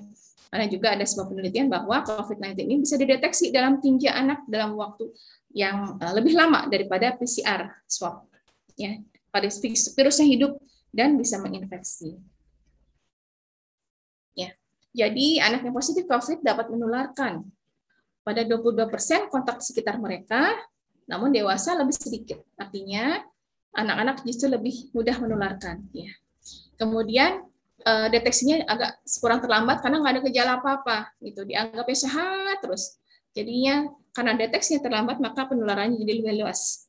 Dan semakin semakin muda usia anak, semakin sulit memahami dan melaksanakan protokol kesehatan secara disiplin dan konsisten. Ya, jadi anak berpotensi sebagai sumber penularan atau super spreader. Baik, insya Allah kita semua adalah pahlawan ya bagi diri kita sendiri dan bagi keluarga kita maupun lingkungan kita. Ya. Jadi mulai kita bertekad melawan dan mencegah COVID itu tentu tidak bisa dengan hal yang sederhana ya, memang agak sulit, bahkan juga kadang-kadang berkorban banyak gitu ya. Ada orang yang nggak punya masker, tapi dia tahu dia harus pakai masker, tapi nggak punya uang untuk beli masker misalnya. Apalagi kalau masker medis harus ganti-ganti gitu. Ya, jadi uh, memang ada, pasti ada pengorbanan yang dibutuhkan. Kita perlu kesadaran penuh untuk mematuhi protokol ya sekarang sudah 5M ya sebetulnya yang tadi pakai masker, mencuci tangan, menjaga darah, menjaga jarak, kemudian mengurangi mobilisasi dan menghindari kerumunan. Kemudian juga kita bertanggung jawab untuk melindungi keluarga dan orang-orang sekitar kita. Ya, maka tadi uh, kita berusaha supaya kemisal ya, misal kita tidak sadar kita sakit, kita tidak menularkan orang lain. Itu sangat penting ya Ibu Bapak ya. Mudah-mudahan kita terhindar dari hal-hal yang buruk. Nah, rokok, kalau bisa nih udah di stop ya rokok ini. Karena ini adalah salah satu kelompok yang rentan terinfeksi. Ya, namanya pakai rokok, masa sih pakai masker gitu. Mungkin ada yang pakai masker sambil ngerokok. ya, maskernya, maskernya. Dibolongin. Jadi maskernya eh, kalau merokok biasanya maskernya diturunkan. Kemudian cuci tangan sebelum merokok rasanya susah ya. Ya, karena kita harus cuci tangan sementara merokok mungkin lupa cuci tangan. Kemudian juga memang pada paru orang-orang perokok itu sudah terjadi kerusakan jaringan ya. Jadi bagi pada yang PPOK ya penyakit paru obstruktif kronik itu kuman itu mudah sekali masuk. Ya, jadi segera hentikan kebiasaan merokok. Ya, baik. Kita bersama-sama ya berusaha dan berdoa. Walaupun takdir atau ajal telah ditentukan, namun meninggal karena COVID-19 itu tidak enak. Kenapa? Karena tidak bisa ditemani keluarga. Ya, bisa jadi tidak dibimbing jadi bimbing syahadat saat sakaratul mautnya. Kemudian keluarga yang ditinggalkan juga harus isolasi atau sakit COVID juga gitu. Dan jenazah bisa jadi tidak dimandikan dan dikafani seperti jenazah non COVID. Ya, yang jelas adalah nyawa tidak tergantikan, meninggalkan duka yang mendalam bagi keluarga tercinta. ini uh, seperti ini ya kira-kira protokol COVID-nya Ibu Bapak um, tidak tidak menyenangkan ya bagi keluarga walaupun it, persentasenya kecil uh, kurang dari 10% namun itu sangat berharga. Ya, sama-sama kita berdoa supaya negeri kita aman dan sentosa yang mudah-mudahan kita dihindarkan dari hal-hal yang buruk insya Allah. Ya, baik, terima kasih Mbak Mieska Eh, atas waktu untuk uh, uh, screen-nya. Saya tutup dulu ininya ya, so, stop share. Baik, dok. Uh, amin atas tadi doa pada saat uh, penutupnya ya dok ya. Baik, mudah-mudahan kita semua tetap sehat. Uh, Masya Allah ilmunya ya, ternyata banyak sekali yang uh, belum kita tahu, tepatnya saya ketahui mengenai COVID-19 ini. Uh, saatnya kita memperdalam kembali pemaparan dokter Dian tersebut dengan diskusi. Sebelum saya membuka kesempatan untuk diskusi bagi teman-teman yang ada di uh, ruang Zoom ini, saya akan menyapa Direktur ICTS. Apakah sudah bisa uh, terdengar suara saya? Bapak Surono, Bapak Dr. Surono. Halo. Halo. Bapak Dr. Surono. Baik. Ya, oke. Ah, ini dia.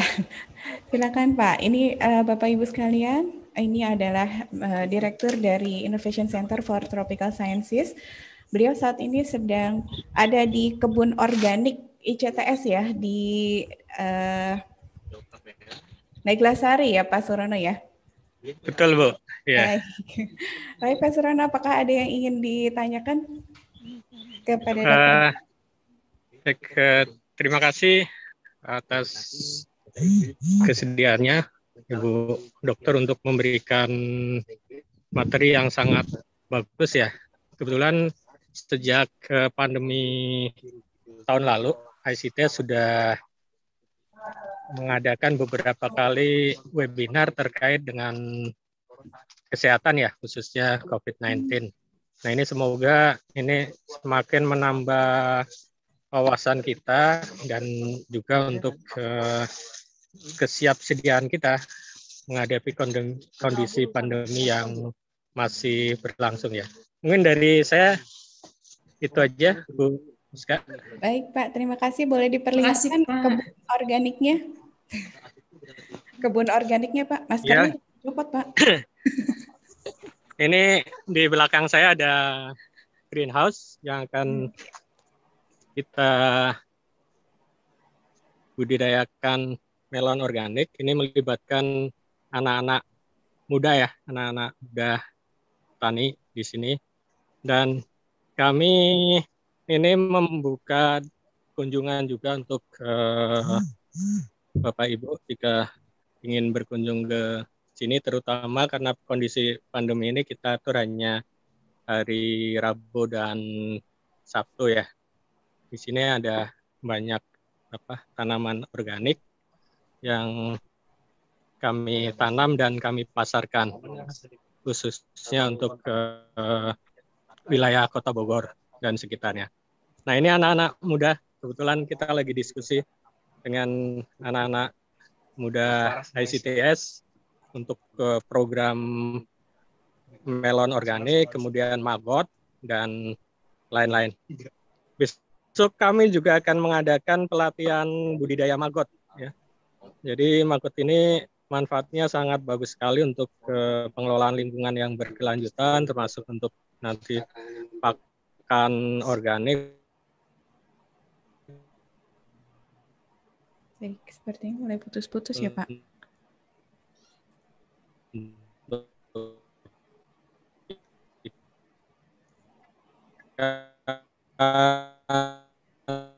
Pak Surono, mohon maaf suaranya mulai putus-putus.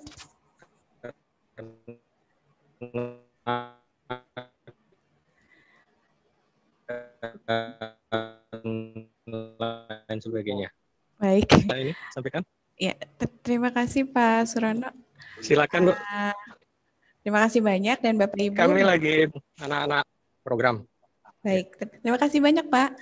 Baik Bapak Ibu, bagi uh, Bapak Ibu yang Masa, juga berkenan untuk uh, apa berwakaf untuk uh, apa pengembangan dan pemberdayaan masyarakat petani oleh ICTS dipersilakan hubungi panitia nanti.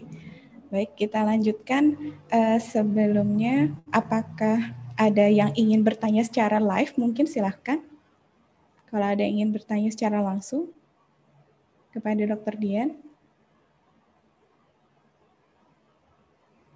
Baik, kalau belum belum ada yang ingin bertanya langsung, uh, saya bacakan pertanyaan yang ada di chat mungkin ya dok ya? Iya, silakan. Baik. Uh, pertanyaan yang pertama tadi dari uh, peserta kita dari Bogor tadi Pak Supra yang sudah muncul tadi di awal. Uh, sebentar, saya scroll.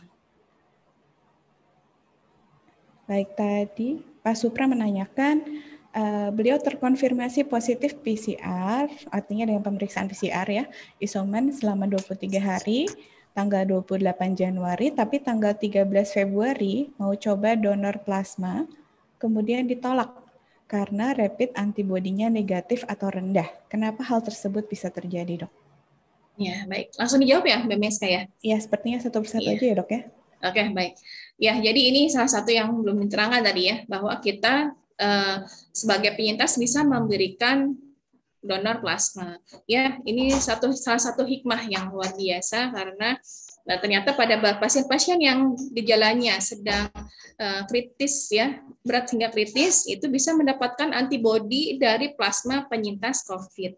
Nah, uh, masalahnya adalah penyintas COVID ini tadi bisa terinfeksi kembali. Maka ada yang disebut sebagai reinfeksi COVID.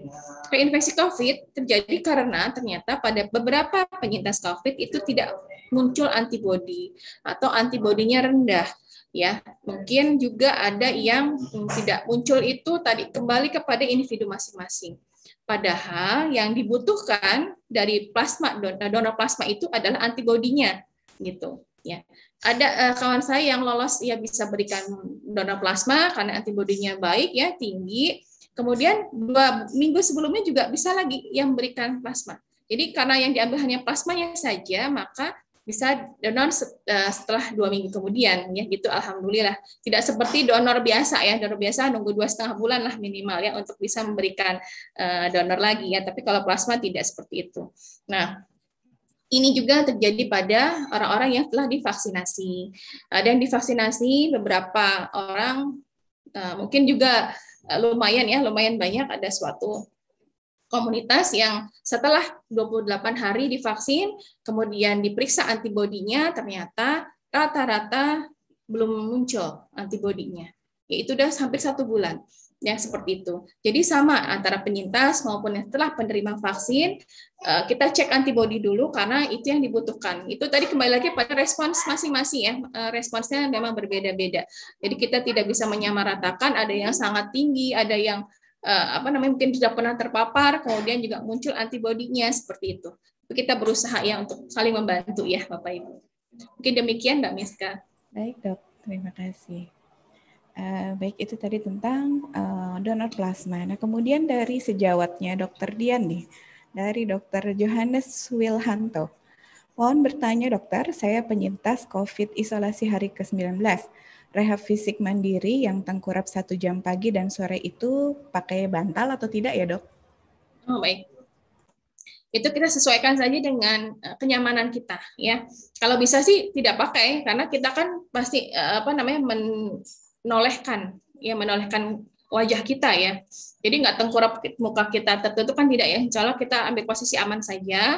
Yang terpenting adalah bahwa itu digunakan untuk melatih otot-otot pernafasan untuk bekerja gitu. Jadi memang lebih susah ya saat kita bernafas sambil tengkurap dibandingkan nafas dengan apa posisi tidur biasa gitu. Boleh diperbolehkan dok. Lebih sesak ya dok ya kalau kita bernafas sambil tengkurap ya dok iya. ya. Iya.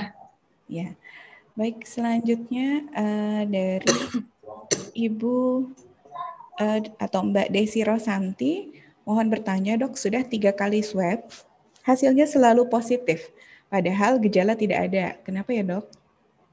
Iya, betul. Jadi eh, Bapak Ibu, salah satu kriteria bebas isolasi sebetulnya ya kalau dari DKPMKes yang baru itu kalau tanpa gejala itu 10 hari sudah selesai isolasi kalau ada gejala ringan, dua minggu sudah selesai isolasi. Masalahnya adalah pada beberapa orang, apalagi nakes ya, kalau kita diwajibkan untuk PCR swab setelah isolasi karena nakes tidak boleh bekerja dalam kondisi positif COVID. Nah, pertanyaan tadi ini kan bersambung sebetulnya. Jadi periksa swab ulang ternyata malah positif, isoman lagi, periksa positif lagi gitu. Uh, ini dikembalikan lagi kepada respons tubuh yang berbeda-beda. Tapi ada beberapa tips ya Bapak Ibu untuk mempercepat pemulihan atau konversi swab PCR-nya. Di antaranya adalah tidur yang cukup ya, tidur minimal 6 sampai 8 jam sehari, kemudian bisa ditambah tidur siang, Kemudian suplemen, ya suplemen itu uh, rasanya bebas ya kita boleh makan, boleh minum, tapi perhatikan juga fungsi ginjal dan livernya ya, jangan sampai semuanya herbal semua segala diminum, uh, kemudian akhirnya malah ada keluhan gitu ya. Nah kemudian juga kita bisa melakukan irigasi, irigasi nasal dan juga uh, kumur-kumur. Jadi kalau orang biasa kumur-kumur itu dengan betadine gargle, ya kemudian juga bisa membersihkan hidung dengan irigasi nasal itu kita bisa cari itu di uh, YouTube ya kebetulan apa namanya ada sejawat THT yang beberapa orang mencontohkan bagaimana sih caranya membersihkan hidung. Memang agak tidak enak tentu ya, kayak rasanya kan kayak kita kemasukan air ya kalau berenang ya di hidung itu. Tapi itu berfungsi untuk uh, membersihkan partikel-partikel virus di situ. Nah, untuk uh, eh, PCR swab itu juga kita perlu perhatikan nilai CT-nya ya. Jadi kalau CT-nya tinggi, udah di atas 35 insya Allah sudah hampir sembuh sebetulnya ya. Tinggal bersabar aja. Tapi kalau CT masih rendah-rendah nah gitu hati-hati karena mas, biasanya masih dalam fase akut. Walaupun kadang CT juga tidak bisa bedakan nih sebetulnya virusnya udah mati atau belum gitu. Tapi terdeteksi. Maka kita uh, coba bersihkan hidung dan kumur-kumur tadi ya supaya badan-badan virus yang sudah nggak ada juga bisa dihilangkan ini tuh salah satu tipsnya ya ibu bapak ya baik dok Uh, mungkin kalau untuk yang Muslim bisa uh, membersihkan hidung salah satunya dengan istinsyak ya dok ya pada saat oh, iya boleh boleh yeah. betul betul. Baik. Tapi kalau tadi apa uh, re, oh, mohon maaf dok jadi lupa apa namanya membersihkan tadi istilahnya dok? Uh, oh itu nasa irigasi, irigasi. Ah, ya irigasi nasa. Aman untuk dilakukan oleh awam dok aman aman bisa hmm. makanya kita perhatikan dulu nanti ada uh, beberapa tutorial yang dicontohkan langsung oleh uh, ahlinya gitu ya dari THT hmm. uh, menggunakan cairannya biasanya pakai normal salin jadi hmm. pakai cairan infus yang biasa yang dia tuh aman digunakan gitu Baik. ya tentu harus pelan-pelan ya, ya berlatih dulu betul serem juga soalnya dok kayaknya Baik, selanjutnya dok, ini ada pertanyaan dari eh, sejawat dokter juga, dokter Abdul Ghafur. Uh, mohon maaf, ini mungkin kalau berkenan dok untuk bertanya secara live, dokter Abdul Ghafur. Halo. Apakah dokter Abdul Ghafur ada masih ada di room? Baik, sepertinya uh, tidak ada. Saya coba bacakan pertanyaan dari beliau. Saya mau bertanya dok, apakah orang yang terkena COVID-19 dan sebelumnya sudah dilakukan vaksin, baik itu pertama dan kedua sudah lengkap, apakah risiko long COVID pada pasien yang sudah divaksin dan belum divaksin itu sama? Bagaimana pencegahan dan aktivitas sederhana yang dilakukan agar tidak terjadi long COVID pada saat kita sudah isolasi mandiri, dok? Iya, dok. Iya, baik. Ya, terima kasih pertanyaannya. Insya Allah kalian sudah divaksin itu uh, lebih ringan gejalanya ya. Harapannya demikian karena dengan divaksin kita berharap antibodinya muncul. Jadi walaupun ya, walaupun tadi uh, vaksin tidak dapat menggantikan protokol kesehatan. Artinya saat kita saya udah divaksin terus langsung lah ke mall buka masker gitu ya makan bareng nah hati-hati karena tentu tidak bisa dipungkiri kalau banyak uh, eh, OTG di sekitar kita. Nah, insya Allah kalau sudah divaksin, terutama sudah lebih dari 28 hari, akan mengalami gejala yang lebih ringan kalau tertular. Baik dok. Jadi uh, tetap ya faktor proteksinya dari vaksin itu ada ya dok ya? Iya. Itu akan buat lebih ringan ya dok, insya Allah. Insya Allah. Kalau memang terkena. Baik, uh, terkait dengan uh, Dedi Merdok selanjutnya. Dari uh, Bapak atau uh, Saudara Irfan Santosa, Dedi Mer tinggi pasca COVID, apakah bisa turun sendiri tanpa obat pengencer darah? Itu yang pertama. Kemudian yang kedua post COVID uh, eh, MISC di in kids mohon dibahas juga. Dan selanjutnya salah satu long COVID siklus menstruasinya menjadi terganggu. Apakah ada solusinya? Baik, borongan dok dari Pak borongan. Irfan. Terima kasih Pak Baik. Irfan. Iya, baik terima kasih Pak Irfan. Yang pertama tentang di dimer ya. Uh, ini bahkan ada suatu negara yang ia memberikan terapi uh, antikoagulan itu pada hampir hampir seluruh uh, warganya yang uh, terjebak dalam pandemi gitu karena memang ini sebetulnya salah satu faktor yang beresiko juga menyebabkan gejala kritis maupun wafat ya maupun meninggal dunia. Jadi eh, kita sangat menganjurkan bahwa untuk pasien-pasien yang positif yang mereka juga memiliki penyakit penyerta ya jantung dan sebagainya diperiksa juga di dimer. Nah, ini diterapi ya diberikan obatnya dan juga nanti akan dievaluasi ya evaluasi lagi ya nilai di dimernya apakah sudah turun normal bawah 500 atau tidak gitu. Karena memang eh, ada yang naiknya sampai berkali lipat beratus kali lipat gitu. Nah itu sangat beresiko sekali. Nah eh, pertanyaan kedua maaf tadi tentang apa yang agak kurang jelas maaf mbak. Uh, post covid MISC in MISC ya MISC in kids. Mohon dibahas katanya. Maksudnya apa ya? Maaf Iya. Nggak kurang kedengeran. Post COVID MISC in kids. Maksudnya ini ya, uh, apa namanya? Uh, post sequel ya sama sih well, sebetulnya long iya. covid juga ya. Sama ya, Dok ya. Seperti jadi gini, memang pada long covid mungkin sekaligus pertanyaan selanjutnya ya tentang long covid ini. Nah, tadi juga pertanyaan sebelumnya dari Dr. Johannes juga ada tentang long covid kayaknya tadi belum di Iya, eh, itu ya betul. dijawab ya, mohon iya, maaf. Iya, jadi long COVID ini adalah salah satu kendala yang banyak kita rasakan, terutama pada pasien-pasien.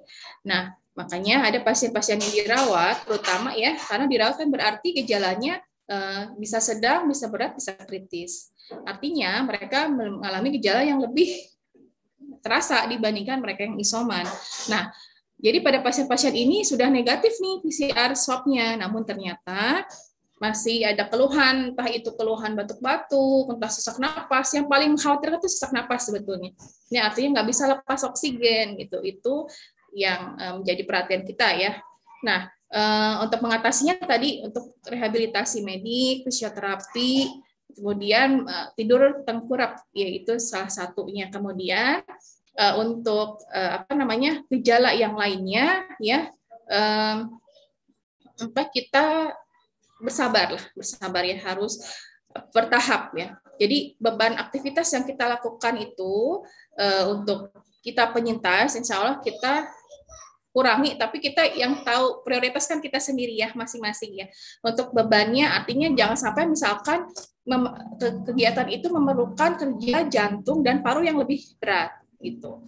Ada juga bagian penyintas yang mereka langsung bisa goes lagi, ya artinya uh, apa prima gitu ya, fisiknya prima, sanggup gue sampai berapa sampai puluhan kilo itu padahal baru sembuh dari COVID itu ada juga yang seperti itu. Jadi kita sendiri yang bisa mengukur bagaimana kemampuan kita untuk uh, beraktivitas fisik setelah sembuh dari COVID. Ya. Kemudian juga untuk keluhan-keluhan yang lain tadi ada yang seperti ke, kehilangan fungsi penghidup, kehilangan rasa mengecap, uh, bingung, linglung, nggak fokus ya seperti itu.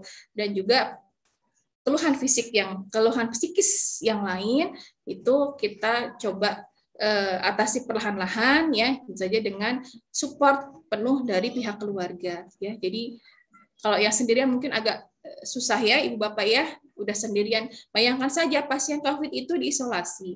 Ya, rata-rata sendirian, udah sepi apalagi kalau yang lansia lansia tidak mandiri di ruang isolasi tidak bisa ditemui oleh keluarga. Ya, sementara nakes kan terbatas jumlahnya. Mereka harus total care untuk semua pasien. Artinya, hal seperti ini mungkin menimbulkan dampak psikis. Jadi sebetulnya boleh kalau di ruang isolasi biasa eh, apa untuk pasiennya pegang HP ya bahkan kita sediakan wifi ya kalau di tempat saya supaya bisa berkomunikasi dengan keluarga ya karena tidak bisa berjumpa langsung ya insya Allah hal seperti itu makanya seperti uh, apa ada teman saya yang insya Allah yang mereka juga sekeluarga kena bapaknya dirawat itu ini video call Ya, jadi ada waktu-waktu dijadwalkan video call beramai-ramai keluarga besar itu. Ya, jadi uh, si bapak ini sampai ke apa tertawa itu lebar gitu ya senyumnya bahagia gitu ya melihat anak-anak cucunya walaupun masing-masing isoman ya walaupun masing-masing sakit tapi uh, apa uh, senda yang muncul di saat pertemuan seperti itu masya Allah ya itu meningkatkan uh, emosi positif dan juga semangat untuk lekas sembuh gitu. Ya, jadi jangan lupa tadi jangan lupa bersyukur, jangan lupa berbahagia karena kita diberikan kesempatan ya untuk beraktivitas lagi, ber uh, apa namanya berkreasi lagi ya insya Allah dan juga tadi ya kita bisa sharing di sini. Mungkin itu ya Ibu Bapak. Baik dok. Selanjutnya uh, sepertinya ada yang mau bertanya live ini dok dari uh, pengurus ICTS nih dok dari sekretaris Eksekutif ICTS. Pak Akwin, dipersilakan Pak Akwin. Assalamualaikum warahmatullahi wabarakatuh. Waalaikumsalam warahmatullahi wabarakatuh. Juga penyintas, sudah juga dokter, dok, jadi kita isolasi mandiri di rumah. Uh, Alhamdulillah terdeteksi itu 13 Januari yang lalu. Uh, saya sudah tiga kali swab ulang karena syarat untuk aktivitas di laboratorium kembali itu harus harus negatif dan ternyata sampai saat ini masih positif gitu. Jadi swab uh, sebelum yang terakhir minggu ini itu dua minggu yang lalu itu CT value-nya 35 dan uh, sekarang masih 35 dok. Jadi uh, kalau saya kebetulan bekerja di bidang biologi molekuler itu saya rasa mustahil kalau dia virus uh, yang sudah nonaktif atau rusak RNA-nya tersisa gitu karena RNA itu nggak mungkin apa namanya bisa bertahan sampai dua minggu gitu. Hmm. Apa, karena saya juga punya riwayat dermatitis kemungkinan autoimun ada masalah dengan apa namanya daya tahan tubuh saya sehingga virus itu masih masih apa masih aktif di tubuh saya sampai hampir dua bulan ini. Aja. Oh, Masya Allah. Iya. Baik. Uh, iya. Baik. Ini yang ditanyakan tentang ini ya, apa namanya? Nah, sharing yang mungkin ya. Yeah. Karena setelah dua bulan masih. Uh, jadi tadi uh, CT-nya kan 35 sekarang ya Bapak ya. Jadi sebelumnya sebetulnya sih hampir sembuh. 35 juga dok. Ya, Ya, sebelumnya sih saya uh, ucapkan apa namanya semoga lekas sehat kembali beraktivitas kembali ya pulih seperti sedia kala. Nah, uh, dengan kondisi tadi ini namanya persisten COVID. Jadi ada lagi ya nama istilah persisten COVID. Positifnya itu lama ya yang saya sebagai penyintas ya saya kemarin periksa swab PCR tanggal 18 Februari eh ya Januari kemudian dua minggu kemudian saya periksa lagi alhamdulillah sudah negatif gitu keluarga juga begitu ya eh, rata-rata. Nah, eh, walaupun ada juga yang prolong tadi ya namanya persisten COVID. Jadi ternyata ia masih positif. Isoman lagi nih. Jadi isoman karena saya rame-rame kemarin saya lanjutkan isomannya dua minggu karena masih ada anak dua orang yang positif gitu. Walaupun nah tadi ya dikembalikan lagi secara pedoman dari Kemenkes sebetulnya 14 hari itu sudah selesai isomannya ya karena gejalanya ringan bahkan tanpa gejala itu sudah selesai. Artinya di eh, kemungkinan besar itu tidak lagi menular. Tapi tadi kita kembalikan eh, kembalikan lagi ya pada kondisi bahwa saat pandemi seperti ini kita tidak bisa mentah-mentah mengadopsi eh, pedoman. Kenapa? Karena eh, apa kebiasaan atau tipikal tipikal komunitas kita yang um, agak santai gitu ya. Jadi udah selesai misalkan bisa saja saya sudah selesai isoman kemudian saya kumpul-kumpul lagi ya saya kumpul lagi ke main di kafe segala macam. Nah, seperti itu. Maka eh, ada baiknya kalau kita memperhatikan swab PCR ini juga sebenarnya kendala bagi sebagian orang yang mohon maaf karena ada yang mandiri periksa swab PCR-nya yang kita tahu ya biayanya juga besar. Tapi mudah-mudahan kita diberikan solusi yang terbaik ya Bapak ya. Nah, jadi tipsnya tadi e, untuk berjemur, kemudian untuk tidur tel, telung, telungkup ya tidur ini tidak boleh kurang dari 8 jam sehari ya kalau saya sarankan. Beberapa teman saya yang saya ajak bicara langsung gitu ya kenapa sih kok masih sebulan dua kali isoman masih positif? Gitu. Ternyata saat ia isoman istirahat ini sekalian sharing ya Bapak Ibu ya untuk anak-anak yang mereka pulang dari pesantren positif akhirnya dipisah. Kamarnya diisolasi oleh keluarga, misal di atas, udah dia si anak ini di atas aja, dibekali lah itu ya gadget, laptop, wifi gitu ya. Nah aktivitasnya adalah eh, lama di depan gadgetnya. Nah itu membuat ia kurang istirahat ya. Ya ternyata bukan hal yang baik juga ya bagi kita kalau kita membekali eh, anak-anak terutama atau orang dewasa juga bisa atau misalkan memang ada beberapa kasus yang sebelum sakit pun udah susah tidur gitu. Artinya baru bisa tidur di menjelang malam ya atau larut malam. Tengah malam baru bisa tidur nah seperti itu. Jadi berubah berubah eh, kebiasaan tidur juga agak sulit. Nah kemudian tadi bapak bisa dengan tadi irigasi nasal dan dengan kumur betadin ya. Insya Allah ya kita sih berusaha saja yang penting. Ada kalau misalkan dua bulan itu memang rasanya sangat lama ya eh, tentang persitan COVID. Beberapa teman saya juga ada yang sampai 80 lebih dari 80 hari akhirnya negatif juga sih alhamdulillah. Yang penting bersyukur dan uh, karena diberikan gejala yang ringan kita tetap bersyukur gitu. Ya tidak seperti kasus lain yang gejalanya kritis gitu ya. Seperti itu mungkin Pak ya. Ya baik Mbak Mieska. Baik dok, selanjutnya ada yang ingin bertanya secara langsung, uh, Ibu atau Mbak Ari Mariani, apakah masih ada di room? Dipersilakan. Ya. Uh, Assalamualaikum Dokter Dian. Ya, Waalaikumsalam warahmatullahi wabarakatuh. Silakan Mbak. Kebetulan profesi saya kan bidan ya. Saya Ya. memang ada beberapa pasien yang memang menolak di swab untuk persalinannya. Nah, yang saya tanyakan apakah efektif jika saya hanya menggunakan cek saturasi oksigen gitu dan kalaupun itu efektif angka berapa yang jadi patokan untuk saya dan apakah selalu pasien yang OTG itu uh, menggambarkan uh, saturasi yang turun dari normal? Terima kasih. Baik, terima kasih Bu Ari. Mudah-mudahan sehat-sehat ya. Uh, amin. Jadi uh, ya salah satu bekal kita untuk keluarga kita adalah kita menggunakan pulse oximetry tadi maksudnya ya. Pulse oximetry untuk menilai menilai saturasi oksigen. Nah, ini juga satu lagi kita perhatikan apakah betul angka yang dibaca itu adalah saturasi oksigen atau nadi gitu. Jadi ada yang ketukar, ibu bapak ada yang ketukar membaca uh, puls oksi, apa namanya saturasi oksigennya itu dibaca dari nadinya gitu. Akhirnya turun nilainya kan seperti itu. Jadi kalau misalkan uh, kita isoman, tetap kita sediakan, kita pantau karena saya juga saya sempat turun sampai 92, 93 gitu. Biasanya kalau yang uh, oksigennya agak turun tuh jadi agak sakit kepala pusing gitu ya jadi karena oksigen ke kepalanya juga turun ya gitu tapi kalau yang sesaknya mulai berat yang batuk-batuk terus itu mendingan dirawat aja. Karena nanti akan di ronsen akan melakukan akan dilakukan pemeriksaan lanjutan. Entah itu ronsen pemeriksaan darah diberikan suplemen oksigen obat-obatan melalui infusan ya insya Allah lebih cepat membaik. Gitu. Gimana Bu Ari? Ada lagi mungkin? Bagaimana Bu Ari? Suaranya masih di mute Bu Ari. Iya. Ya cukup dok. Jadi uh, untuk persalinan itu uh, untuk pasien yang itu kita bisa ya dengan uh, saturasi tanpa harus melakukan swab ya. Jadi cukup dengan gambaran oksigennya aja, saturasinya aja. Kalau uh, saturasi kan itu untuk bekal kita pribadi ya. Tapi kalau uh, jujur karena banyak ibu hamil yang positif, saya sih nggak bisa sebutkan angka. Tapi karena saya di rumah sakit menerima uh, konsulan pasien ibu hamil yang positif itu lumayan ya.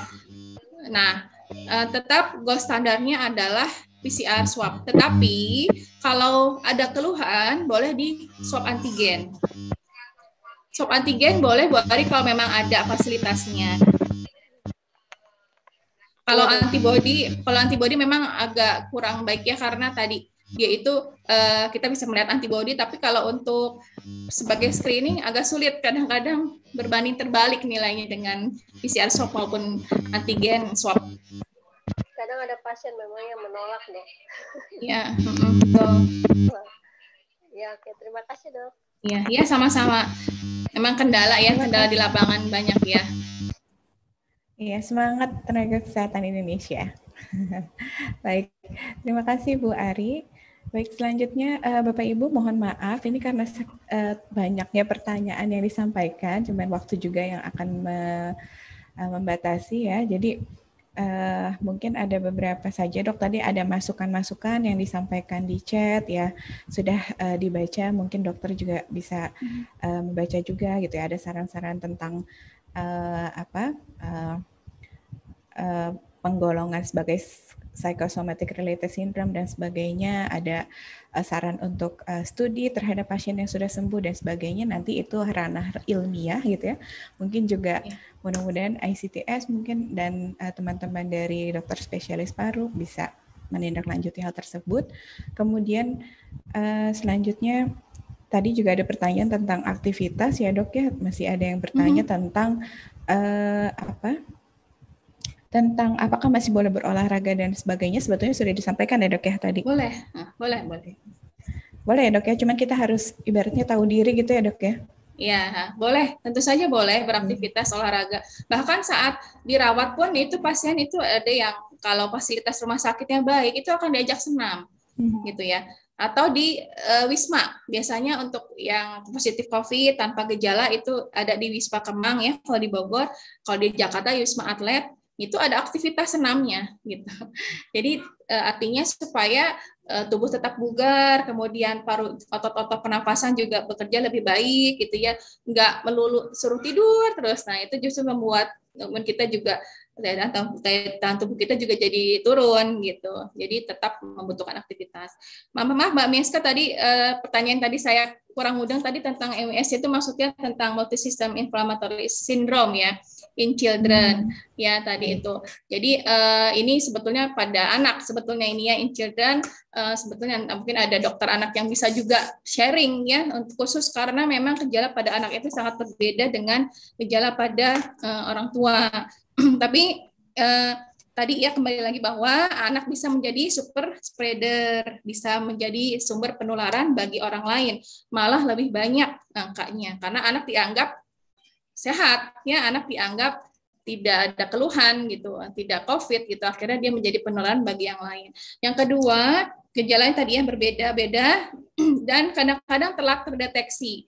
Artinya sebetulnya anak ini positif, tapi karena nggak ada gejalanya, orang sekitarnya tidak aware, tidak sadar bahwa anak ini sebetulnya positif COVID, akhirnya yang tertular juga lebih banyak gitu.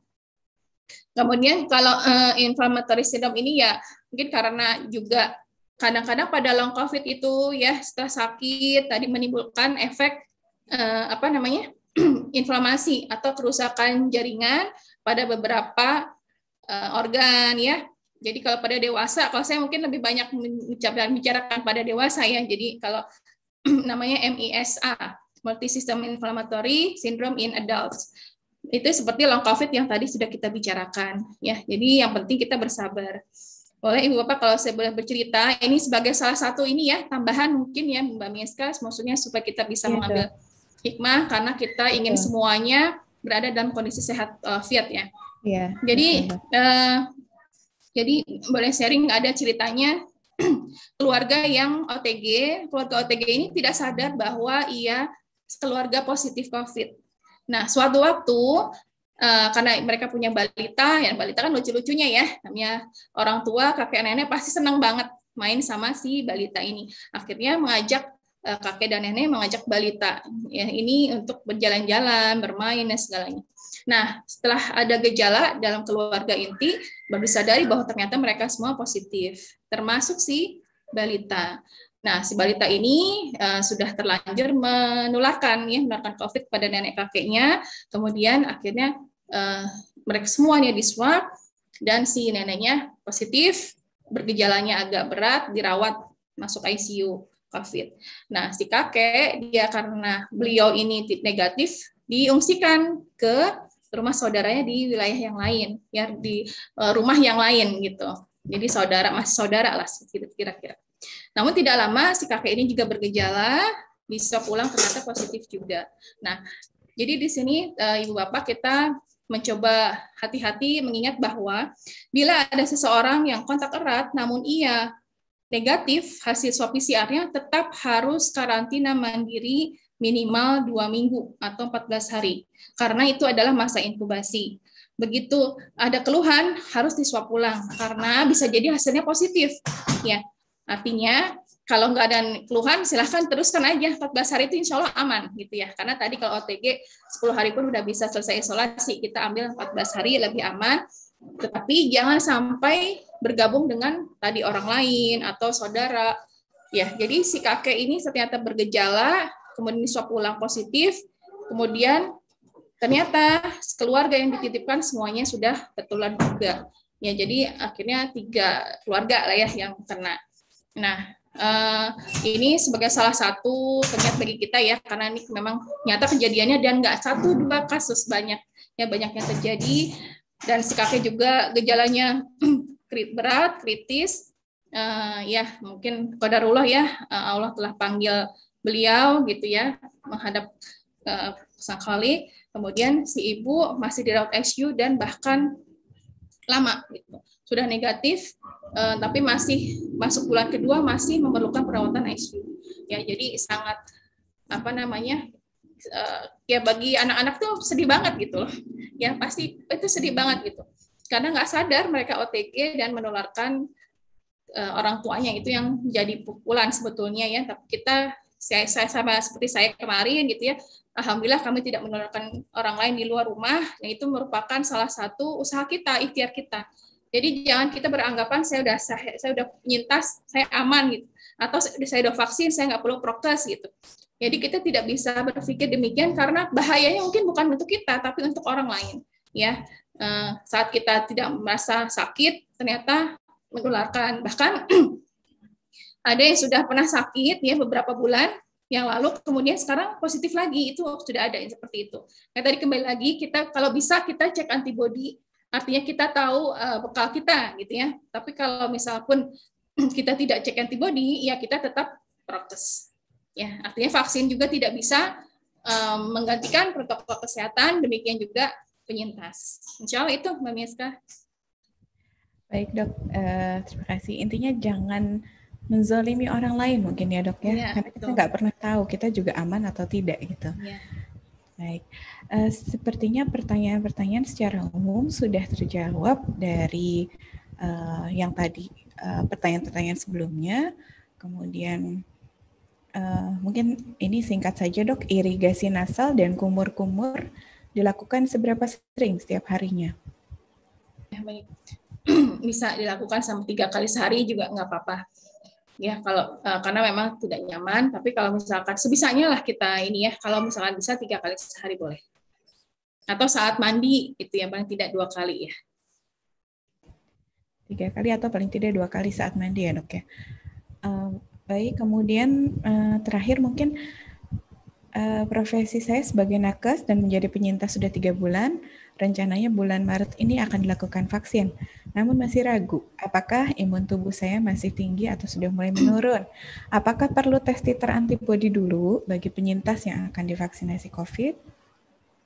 Iya, uh, kalau untuk tes antibodi sih itu sebenarnya bukan jadi persyaratan ya tidak ada screening untuk tes antibodi boleh silakan saja kalau eh, insya Allah tiga bulan itu sudah dilihat dari apa data ini data yang sudah uh, kita dapatkan, kemudian juga dari apa namanya penelitian juga ya mungkin dengan terbatas tentu saja, insya Allah jangka waktu tiga bulan sudah cukup bagi seseorang penyintas untuk bisa vaksin kembali. Karena memang kalau setelah tiga bulan itu biasanya antibodi sudah turun gitu. Baik, ya. Um, untuk persiapan vaksinasi dok ini masih uh, masih ada yang kontroversi nih. Ada yang bilang sarapan dulu biar kuat. Tapi ada yang bilang juga uh, justru lebih baik kita puasa gitu. Karena uh, pada saat tubuh kita inaktif gitu ya dalam tanda kutip itu akan lebih baik ketika kita menerima vaksin. Bagaimana dok? Mm-hmm. Kalau saya sih terus terang menyarankan sarapan dulu ya. Jadi kita tadi uh, tidak lelah sebelum dan sesudah vaksin. Kemudian sarapan dulu karena kita uh, ya mempersiapkan ini ya mempersiapkan tubuh kita untuk lebih uh, sehat, kemudian lebih bugar, artinya tidak ada bekal lah ya, ada bekal apalagi kita akan menerima vaksinasi yang memang bukan bagian dari tubuh kita gitu. Dan beberapa orang memang kalau yang belum sarapan itu ada yang uh, mual, muntah gitu juga ada. yang ya keluhan-keluhan KIPI yang sebetulnya ringan sih sebetulnya, tapi kita bisa uh, atasi dengan tips tadi uh, cukup beristirahat sebelum dan sesudahnya, kemudian sarapan dulu, uh, kemudian juga kalau ya misalkan ada yang sedang dalam masa karantina, artinya uh, negatif swab saya negatif kok dok gitu, tapi adik saya positif, kita ketemu sama dia seminggu yang lalu gitu Artinya dia harusnya memang dan sedang masa karantina karena ada kontak erat yang tinggal rumah. Nah, sebaiknya ditunda vaksinasinya selama seminggu. Jadi, kalau udah selesai masa karantina setelah 14 hari baru boleh divaksin. Ya. Kalau Ibu Bapak pernah mendengar setelah divaksin ada gejala ternyata positif COVID, ada ya mungkin ya pernah dengar ya. Nah, ya. itu sebetulnya sebetulnya bukan dari vaksinnya. Ya, tapi memang iya ternyata memang OTG sudah positif atau ia ada kontak erat atau terpapar ya orang bilang terpapar lah dengan orang lain yang positif COVID dan harusnya dia dikarantina, tetapi dia sudah keburu vaksin.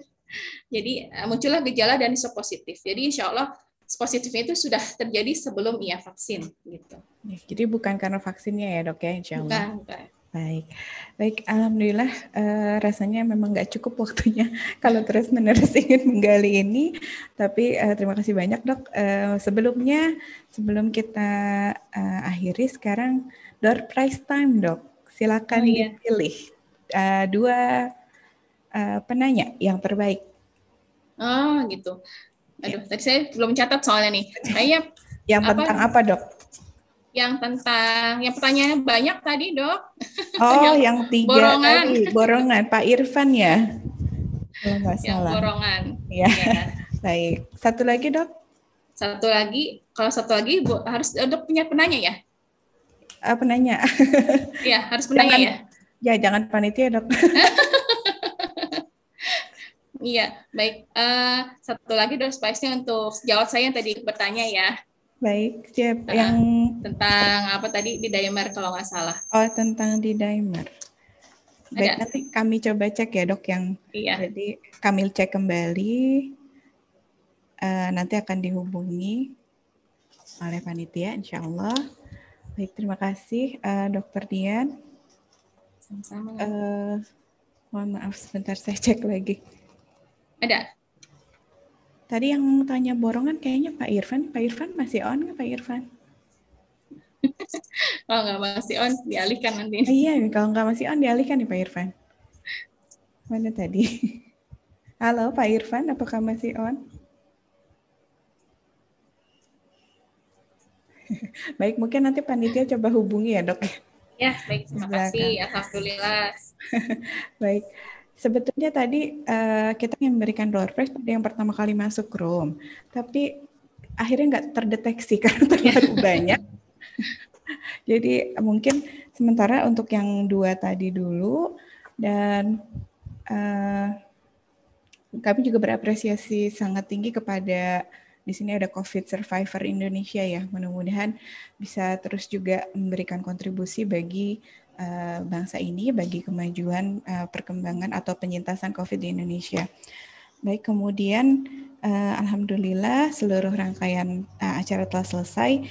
Sebelum kita akhiri mungkin uh, beberapa notes yang saya tangkap dari Dokter Dian tadi. Pertama tentang bagaimana caranya menyikapi long COVID ya. Tadi 3P ya dok ya. Pace, kemudian plan dan prioritize. Jadi jangan paksakan aktivitas, kita sadar diri gitu ya dok ya uh, mana yang aktivitas yang perlu, mana yang tidak kita prioritaskan. Kemudian poin yang kedua tadi dari Dokter Dian adalah relax, bahagia dan bersyukur ya dok ya. Seperti itu. Dan kemudian yang ketiga, vaksin sekali lagi Bapak Ibu tidak menggantikan protokol kesehatan. Jadi tetap lakukan protokol kesehatan walaupun kita sudah divaksin.